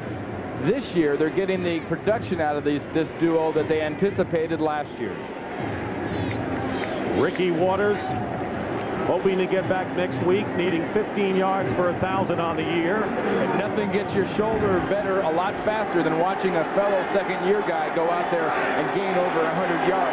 Ricky Watters will be healed next Saturday. Tom Rathman is back in the game, and Amp Lee dives to about the five-yard line. So Rathman returns to the lineup for the Niners, and Henry Thomas came up back to the defensive line for the Vikings. There's Thomas and a two-yard pickup for Amp Lee. And that was the case, I think, of the 49er offense trying to keep the Minnesota defense honest. They're making that living and making those yards outside, following those pulling guards. They were trying to kind of, I don't know, anticipate and fool them up, up in the inside with a quick hitting play. If the Niners keep running the ball, look for it to continue outside. Second and goal. The ball is at the five.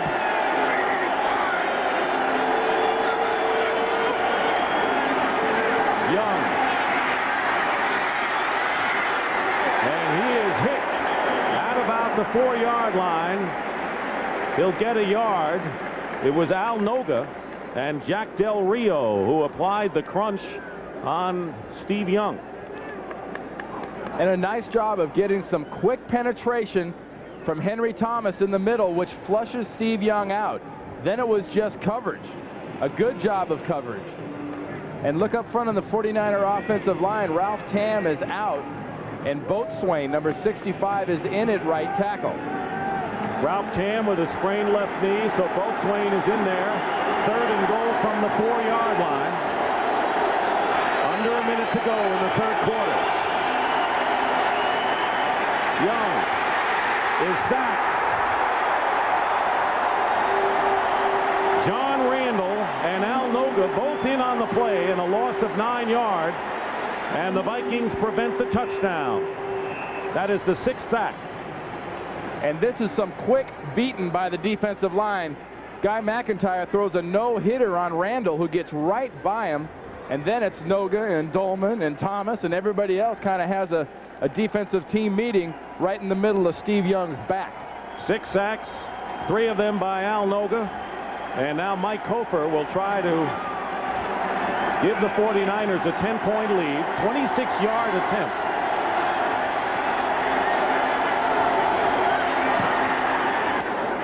The kick is good. So George Seifert's Niners, who led 17 to 7 at halftime, now with 10 seconds remaining in the third quarter, are up 20 to 10. Darrin Nelson and Keith Henderson. There was Nelson and the kickoff by Cofer. And it'll be returned by Henderson, former 49er. Henderson brings it out beyond the 30-yard line. A fine return as the clock winds down. 24-yard return by Keith Henderson. And that's the end of the third quarter with the score. The 49ers 20 and the Vikings 10. And our coverage will continue after this message from your local station. You're watching the NFL on CBS.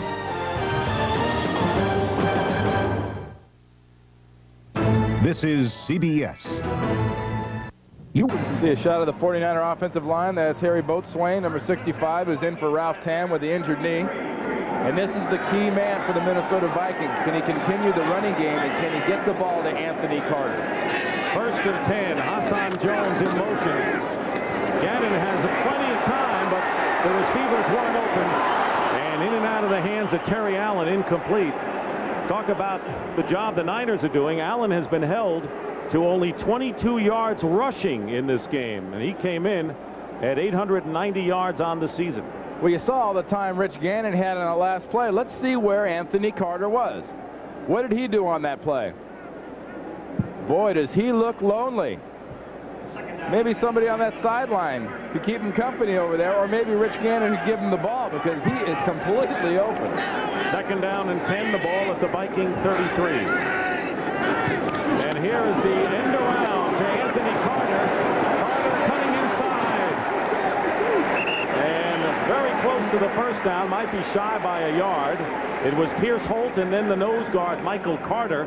They want to get the ball in Anthony Carter's hands some way, and this way picked up nine. Well, from Anthony Carter's standpoint, if they can't see you when you're wide open on one side of the field, bring me in motion and give me the ball. Then you can't ignore me. Good job by Tim Irwin and Brian Habib coming out there and blocking.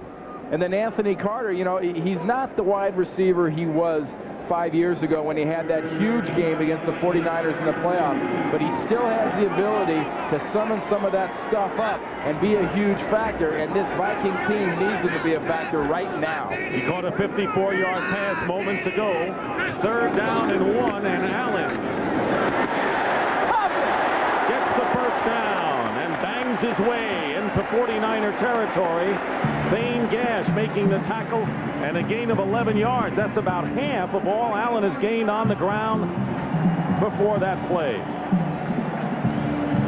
Nice blocking up front from the Minnesota Vikings on that play. Two things. Watch the blocking, and second, watch Eric Davis, 25, come up to tackle a 195-pound halfback right there. Mr. Davis, take a seat. Ted Washington is the nose tackle. Carter is out of the game. First down on the 47 and the pass. Again, Anthony Carter was free. Dana Hall was defending, but the pass was thrown high by Rich Gannon. Just a little high by Gannon, but a nice play by Dana Hall coming in and just closing on that ball right at the very end of this play. See, Carter, it's a zone defense. Corner has him up, safety has him back. Here comes the ball, and here comes Dana Hall. Nice form tackle, straight through the player. Hall had a big game and a big blitz against Dan Marino last week. Dennis Brown for Pierce Holt. Up front for the Niners. Second down and 10. A fake end around to Carter. Gannon is looking for any receiver. Takes off. And he got a lot more than he deserved considering how far back he was pushed. He got six yards on the play. It was Romanowski and Walter on the play. But it wasn't in, what hasn't been since the first possession the Vikings have managed a decent screen. They were trying to throw that screen over to the left-hand side to Terry Allen. The 49ers completely smelled that one out, and it was just up to Gannon there to do what he could. And it was a nice job by Gannon right there, getting some yards out of things, but he's not going to beat the 49ers with his feet. He's not Steve Young. He's got to do it with his arm. This is a big third down play coming up for the Vikings. They need four yards early here in the fourth quarter. Gannon on a quarterback draw. And he's going to lose yardage. So did that fail? The 49ers closed up the middle, and then Don Griffin wouldn't let him get outside. And a loss of one yard will bring up a fourth and five. Watch the defensive line shove this thing up in the middle. They are not buying in the middle. Nice job by Ted Washington completely closing things down over Randall McDaniel on the, over the left guard position there. And an interesting call by interesting call by the Vikings of not throwing the ball against the 28th rated pass defense in the league. Harry Newsome will kick. And Grant calls for the fair catch on the 15-yard line. 27-yard kick. But the Niners will start from their 15 when we return. This game summary is sponsored by Cutter. Another outstanding day for Steve Young. Could be headed for MVP honors. Amp Lee not only with two touchdowns, but he's gained over 100 yards. Rich Gannon has struggled. He has just misfired today as the Viking quarterback and if it weren't for their defense with the interception return for a touchdown, they would be out of this game. Well, not an unusual situation of late. Actually, this whole year for Minnesota, the offense struggling. It's up to the defense to make something happen, and that usually means an interception. Or starting field position for Steve Young, and the pass to Amp Lee out of the backfield, getting very little, if anything. And let's say nothing on the play, and it was Henry Thomas right there.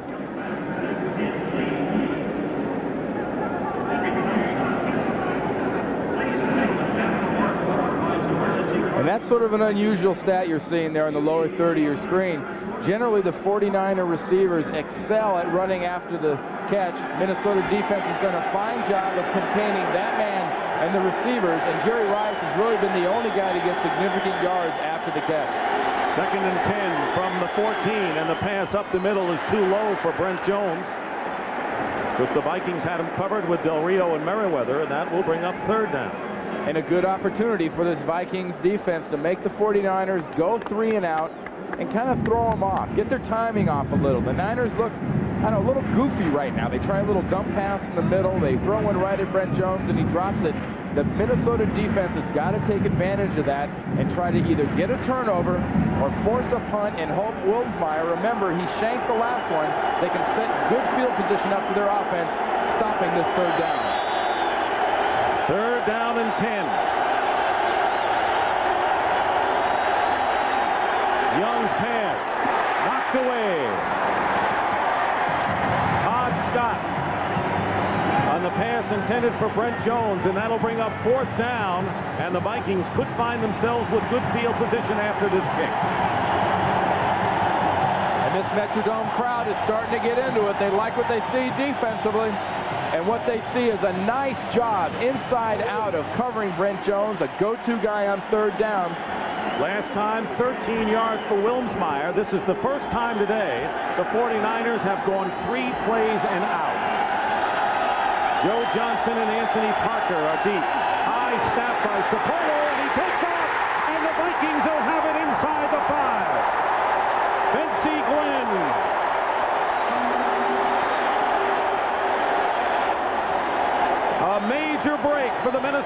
Vikings, trailing by 10 points with 11 minutes to play in the game.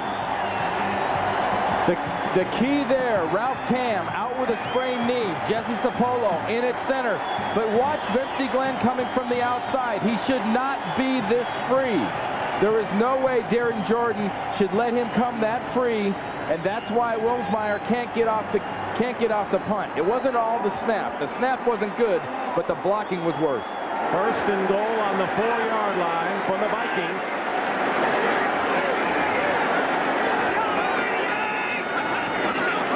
Here's Allen. And he is stacked up maybe for no gain. Keep in mind that the only points generated by the Minnesota offense was a field goal by Fuad Reveiz in the third quarter. Ted Washington was the first to get to Allen. Terry Allen has 11 touchdowns rushing this year. All but one of them have been three yards or fewer, so they have set it up for Terry Allen this year. And when Terry Allen's running at his best, he's running behind McDaniel, Zimmerman, Habib. They get their speed movement guys out in front of him and let him make his cut. Second and goal.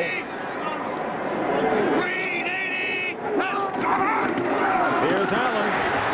He gets to the one. Second in the NFC with 13 touchdowns all told this year. Again, it was Ted Washington. Well, you're matching up a strength on a strength here. You've got a physical offensive line that can move in the Vikings. And you see Ted Washington coming off the field with that right arm dangling a little bit. And he's a member of a very physical, very quick defensive line for the 49ers. If you have your druthers and everybody's piled up, don't go to the pile. Go where there isn't a pile. Get outside. Well, Dennis Green has two downs to get it over. It is third down on the one-yard line. They're stacked tight. And the give is Allen, and he's in for the touchdown.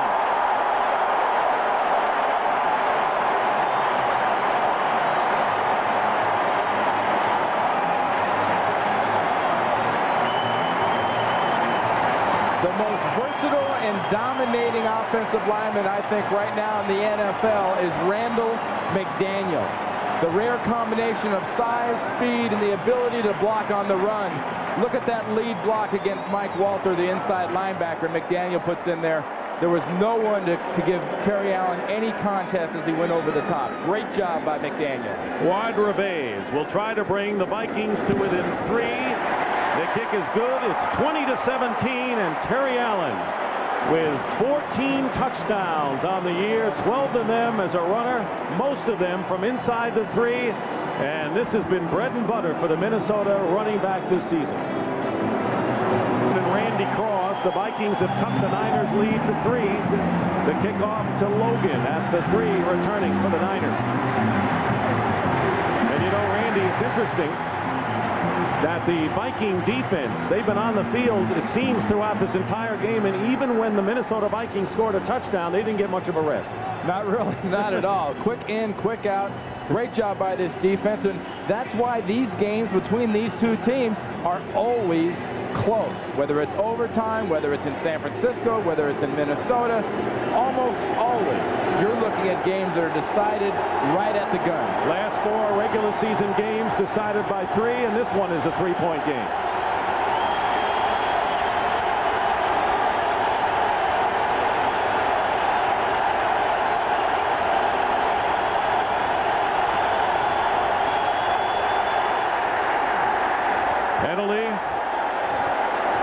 Vikings are indicating that the 49ers were guilty of a false start. False start. 67 offense. How much is the crowd a factor now, Randy? Well, George Seifert and the 49ers practiced yesterday with a lot of crowd noise, but you can't duplicate the noise you get in an indoor stadium, even with speakers. And I found it sort of, not naive, almost arrogant of the team not to really worry about crowd noise, not to have a silent snap in. They don't can intimidate him. First down and 15, and the pitch is to Amp Lee, and he's cut down. Carl Lee.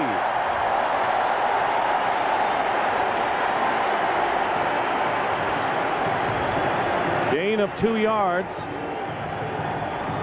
And you see Terry saw Terry Allen on the sideline waving that towel. He knows darn well the best offense the Minnesota Vikings have right now is an, is an aggressive, strong defense to set Terry Allen and Rich Gannon and that whole Viking offense up with some opportunities to get the ball back in good field position.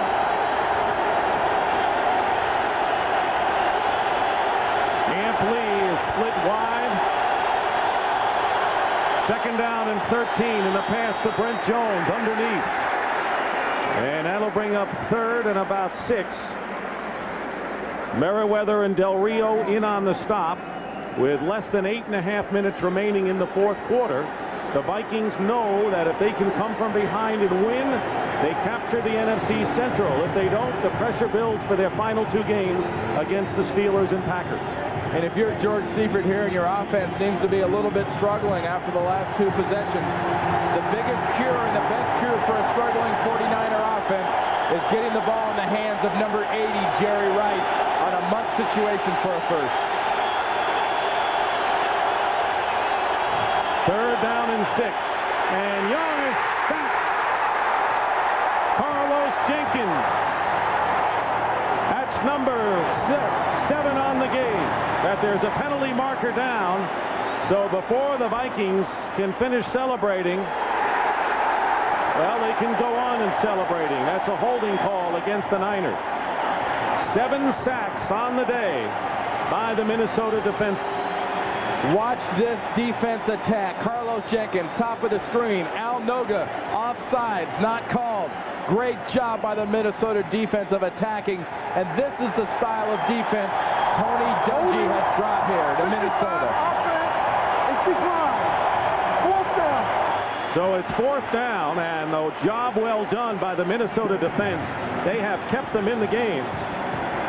Al Noga has three of the seven sacks. The last time Wilmsmeyer punted from the goal line, there was a high snap from Sapolu. Wilmsmeyer was forced to run and was trapped at his own four. This time he gets it off, and it's a great kick. Parker going back. And it's Anthony Parker on the return from Minnesota. And he'll bring it out to the 41 of the Vikings with 7.29 remaining in the fourth quarter. But the Minnesota defense, which has been the trademark of this team all year long, has set things up for the offense. You were on a Honda commercial a few years ago, right? Three, but the fourth quarter has been Minnesota's best quarter, leading the National Football League with 116 points in the final quarter. You see the 49ers are second. And those 116 points for the Minnesota Vikings are set up by a defense that puts them in situations to score or scores touchdowns themselves. Nice job by Dungy's defense. Can Gannon in this offense effectively throw the ball in the air? Roger Craig is in the lineup. First and 10 on the 41. And it's going to be Craig on the carry. Here he is bouncing off defenders. You cannot bring Roger Craig down on your first hit. He got only two yards on that play. Whistle had blown. So it is still Viking ball. Romanowski and Holt made the play, and they earned their stripes with that tackle. Well, it's impossible to wrap Roger Craig up unless you get him going sideways, because when you get him going at you, all you see are kneecaps and forehead, because he's got those knees pumping, and you can't wrap those up. Second down and eight. Jordan lines up strong side to the left. Looking one way, has Craig out of the backfield, but he'll be stuffed immediately at the 45 by Mike Walter. And that will bring up a third and five, maybe more for the Vikings. And the 49er defense will give Gannon that short garbage for the rest of this fourth quarter if that's what he has to take. Because down the field they're covering extremely well, but that is where Rich Gannon needs to get this ball, and he needs to get it into the hands of the only money big-time guy he's got right now. That's Anthony Carter. You got to get the ball to Carter because the rest of the receivers have been a complete non-factor. Carter lines up to the top of your screen. Third down and five. Gannon is going to run, and he's going to make it. First down for the Vikings into 49er territory. Hanks and After a gain of seven. He's a running threat, is Gannon. And the 49er defense does one job well and one not well. They all fill up. They rush. They come forward. You saw Merton Hanks there overcommit filling, and Gannon makes them pay with that first down. And Jeff Fisher, their defensive back coach, has got to be thinking right now, what else do I have to do? We're covering them down the field. We've got to wrap them up. And 10 Vikings on the Niners 47. Less than five and a half minutes to play in the fourth quarter. And the quick hit tip and Anthony Carter tries to make a diving catch and can't do it. It was Tim Harris who got a hand on it. And that'll bring up second down. And Gannon had that play. He was Anthony Carter was wide open. He threw that one out in the flat, and, and for the, luckily for the Niners, they batted that one down. Dallas and Washington, the big clash, and their first meeting, of course, since the opening game of the year. The Redskins fighting for the playoffs. Cowboys 11 and 2, just like the 49ers, and a big one to follow here on CBS. Second down and 10.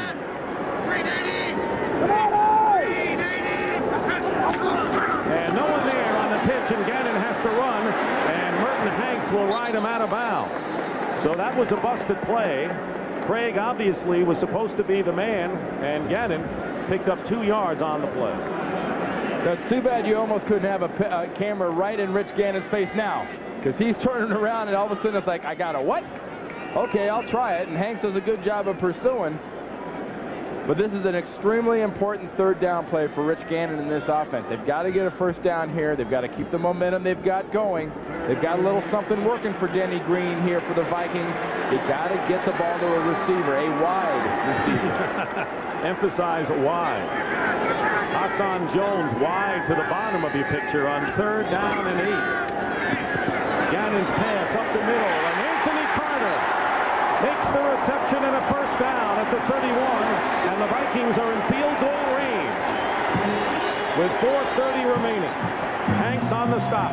And one of the great things a young receiver has first to learn in the NFL is when you get a zone defense, you got to know where the spots are. You got to know where the soft spots are. And when you feel a soft spot, sit down and let your quarterback hit you. And that's exactly what Anthony Carter did. He got in the seam of that zone, presented a nice target to Gannon, and went down for that ball. Is in for Roger Craig. First down on the 31 of San Francisco.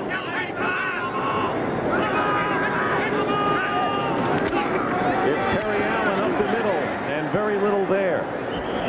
Still trying to get an extra yard or so. Allen will have to be content with a three-yard pickup. Ted Washington and Bill Romanowski on the tackle with under four minutes remaining. And you mentioned, Dick, importantly, Fuad Reveiz, this is well inside his field goal range.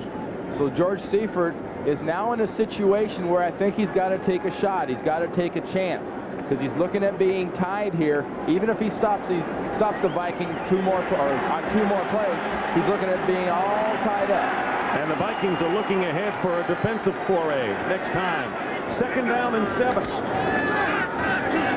Gannon. And that is a bad sack for the Vikings because that will knock Minnesota perhaps out of field goal range. Gannon eschewing a chance to throw the ball away, loses six yards on the sack. And the clock continues to run as we wind down to three minutes remaining. Pierce Holt and Tim Harris close down. What that sets up for Minnesota is ideally, yes, you want a first down, but you got to get at least seven yards on this next play because the last thing you really wanted to do on that last play was have your quarterback peel that ball and eat it. Third down and 14. You mentioned, they don't need all 14 to try to tie the game. Harris is on Gannon. And the whistle had blown. No fumble.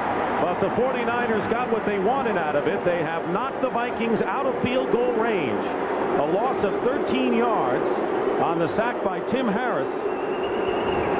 And that really will put a crimp in Minnesota's hopes here. And rightfully, Denny Green cannot be happy because just when the offensive line on one possession was looking good, on the next possession, they get dominated on consecutive plays by the defensive line of the 49ers. So Harry Newsome will have to kick it away with 2.20 remaining. Alan Grant is back deep. He'll call for the fair catch at the 10-yard line. That is really a risky situation at the 10 with a lot of purple jerseys forging in on you. So the score is 20 to 17, and now the Vikings are maybe in a position, Randy, with 2.13 to go to use some of their timeouts on defense. They also have the stoppage at the two-minute mark. This is what the 49ers refer to as their four-minute drill, four-minute situation. There's two minutes and 13 seconds left.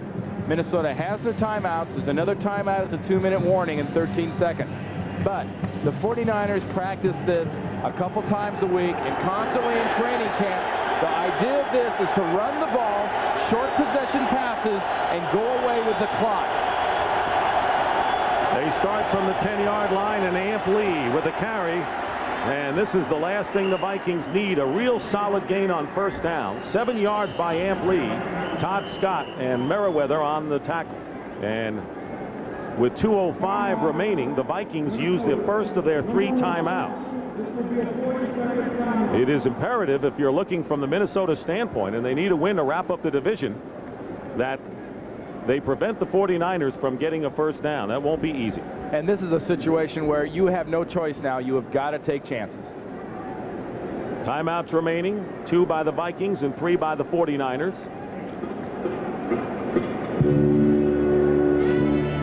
While we have a moment, we want to remind this ball game's over. Second down and three.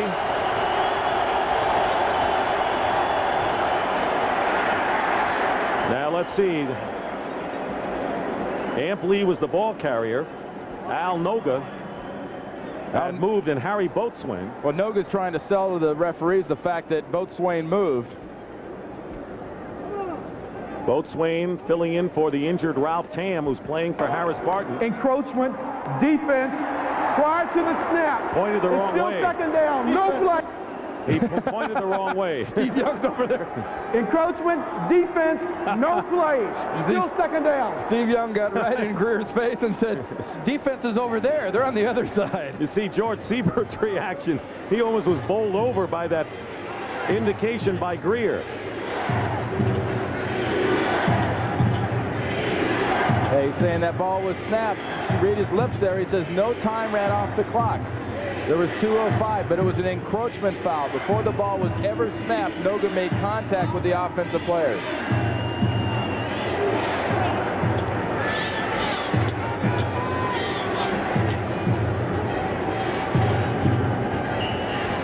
First down and 10 on the 23-yard line. This has been a frustrating day for Denny Green, who is hoping his team offensively could get back into field goal range to tie it up. Now it's in the Niners' hands. And Amp Lee going outside. Amp Lee's 21st carry of the game. He has gained 114 yards today and is stopped by Carlos Jenkins. And now we're down to our two-minute warning here at the Metrodome. 20 to 17, the Niners trying. The Niners, one more first down, and this thing's over. Timeout, Vikings. Make it clear. Make it colorful. Make it both. The DeskJet 550C. With DeskJet printers from Hewlett-Packard, it's easy to make it happen. We make tacos, we make nachos. That gain by Lee, as you pointed out, he could have been pushed out of bounds, stayed in play, and now the Vikings are down to one timeout remaining, and the Niners are up to their own 40. What they need is Minnesota and Danny Green need to make something happen. It's really up to the coaches. It's up to Tony Dungy up in the booth. They've got to call something to make a big play, but the 49ers will give the ball to a back up the middle and try to run this thing out. Here's Amp Lee protecting the football. Carlos Jenkins on the tackle. Vikings are now going to use their final timeout. We have a minute and 32 seconds remaining. It'll be second and long for the 49ers. But what a day for Amp Lee and for Dennis Green. Problems continue for the Vikings if they don't pull out this game. They lost to Philadelphia last week. They don't have many wins against successful teams in the NFL, Randy, and this was a game they really needed at home against the best. Well, what that effectively does really to the Minnesota Vikings right here is says that even if they stop the 49ers, they'll get the ball back with about 10, 15, 20 seconds left, and that's just not enough, I don't think, in this situation. They have got to cause a turnover. They've got to do something to disrupt. If they have to be offsides, you got to be offsides. You know, Denny, Denny Green has done a marvelous job here in Minnesota. His team battled back. They were being dominated. They got right back into this ball game. It's nothing to be down about in the situation they're in right now. And the last thing they need to do from a team standpoint is start to doubt themselves and their system. They can still make something happen. Second down and seven from the 43. The Vikings are out of timeouts. And Tom Rathman goes down and protects the ball. Keep in mind that the Vikings can still capture the NFC Central with a loss by the Green Bay Packers tonight against the Houston Oilers. So the division championship is still within their grasp, but the one thing you want to do is be at your peak when the playoffs come.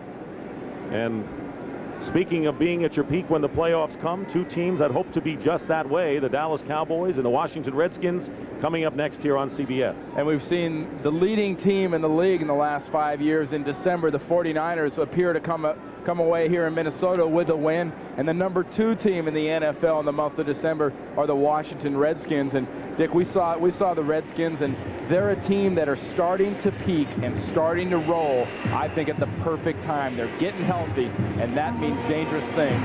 49ers now have called a timeout to discuss exactly what they will do with 43 seconds remaining and Minnesota out of timeouts. Very little hope, and as you say, try to cause a turnover, but 49ers are uh, aware of that, and they've been protecting the ball effectively. Well, what, what you do in this situation is you fall on the ball, and then you take a penalty with about six seconds left in the game, and then you punt the ball out of bounds preferably, and Minnesota will have one play more than likely at the end of this game to try to make something happen. But uh, the chances of that happening are extremely remote. 49ers headed for their sixth straight victory. That's the longest current winning streak in the NFL. Earlier in the year, they had won five in a row. Interesting that on a day that Rich Gannon struggled, Wade Wilson threw five touchdown passes for the Atlanta Falcons. He was let go by the Minnesota Vikings.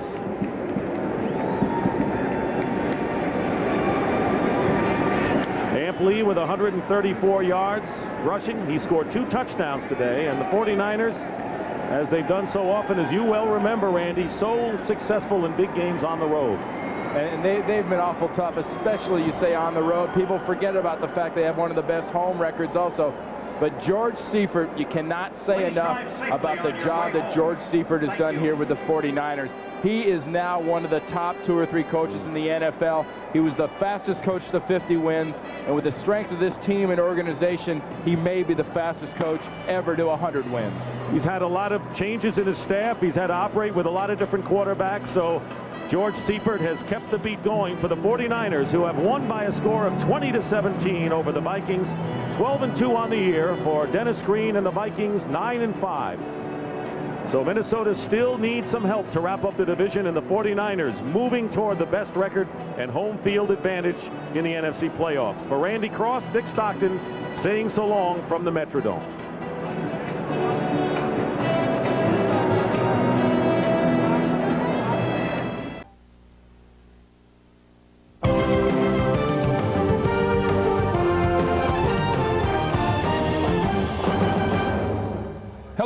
I'm Greg Gumbel along with Terry Bradshaw. Welcome back. Uh, those For those of you who are watching Atlanta and Tampa Bay and San Francisco and Minnesota, and coming up next, since this is a doubleheader day here on CBS, Absolutely. most of you will be watching the Dallas Cowboys at RFK Stadium to meet the Washington Redskins.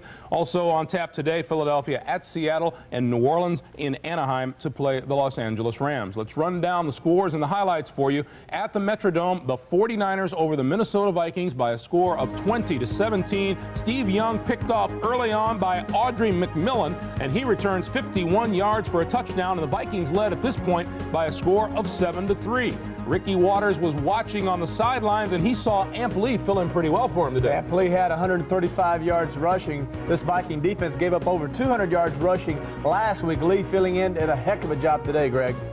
Rich Gannon had his problems. Lamp, uh, Amp Lee goes 43 yards there, and Rich Gannon Tim Harris all over him here. He didn't get much help. He wasn't even blocked. Play action going to the blind side. If no one blocks the support, that's what's going to happen. Harris sitting right there waiting on Gannon. Fourth quarter, 20 to 10 score. Klaus Wilmsmeyer can't get it away. He is sacked by Vencie Glenn at his own four-yard line, and the Vikings turn that around into a one-yard touchdown run by Terry Allen to make it 20 to 17. Vikings coming back, and Rich Gannon just flat out makes a mistake. Yeah, you, you know, in a situation like this where the game is on the line, you're in field goal position. As a quarterback, you say no interceptions or fumbles, but you also say, if I get pressure, I am going to get rid of this football. Two sacks in a row, inexcusable. You have to get rid of the, of the football, Greg. That cost them an opportunity to tie the football game up. The Vikings can still win the NFC Central Division with a loss by the Green Bay Packers tonight against the Houston Oilers. For the first time all season, the Vikings have now lost two in a row. In Chicago, the Bears lead the Pittsburgh Steelers 30 to 6 in the final moments at Soldier Field. Great day for the Chicago defense and for Mike Singletary. They have held the Pittsburgh Steelers down and Barry Foster just 24 yards. The Cleveland Browns and the Detroit Detroit Lions. The Lions beating the Browns 24 to 14. In Cleveland, the warehouse. Hey, Andre Ware had himself a pretty good day today. Not bad at all. Look at this. Here's a guy finally getting a chance coming out of the run and shoot at Houston. Nice shot. There's Perriman. Breaks the tackle. Big, strong wide receiver in for the touchdown. And Andre Ware can run the football, too. On the quarterback draw, look at him take off and cut to the outside. 33 yards by the time he's all done. Good day for Andre Ware. Bernie Kosar, well, this is an awful tough pass to complete. This, this I mean, if ugly it could be ugly. described, that are ugly, Greg. 24 to 14, and with that defeat to the Cleveland Browns, it puts the Buffalo Bills into the playoffs, and uh, the Buffalo Bills had to clinch the playoff berth either by winning or a Chargers, Browns, Chiefs, or Oilers loss. So the Cleveland Browns lose. The Buffalo Bills are in 24-14 Lions over the Browns. Kansas City Chiefs have come from behind and now lead the Patriots with two minutes to play, 27 to 20. The Atlanta Falcons, five touchdown passes from Wade Wilson. They beat Tampa Bay. And the Jets and the Indianapolis Colts, the Colts lead at 10-6. Doubleheader games coming your way here on CBS. We'll be back at halftime. And again, with more updates throughout the day, enjoy Game 2, everyone.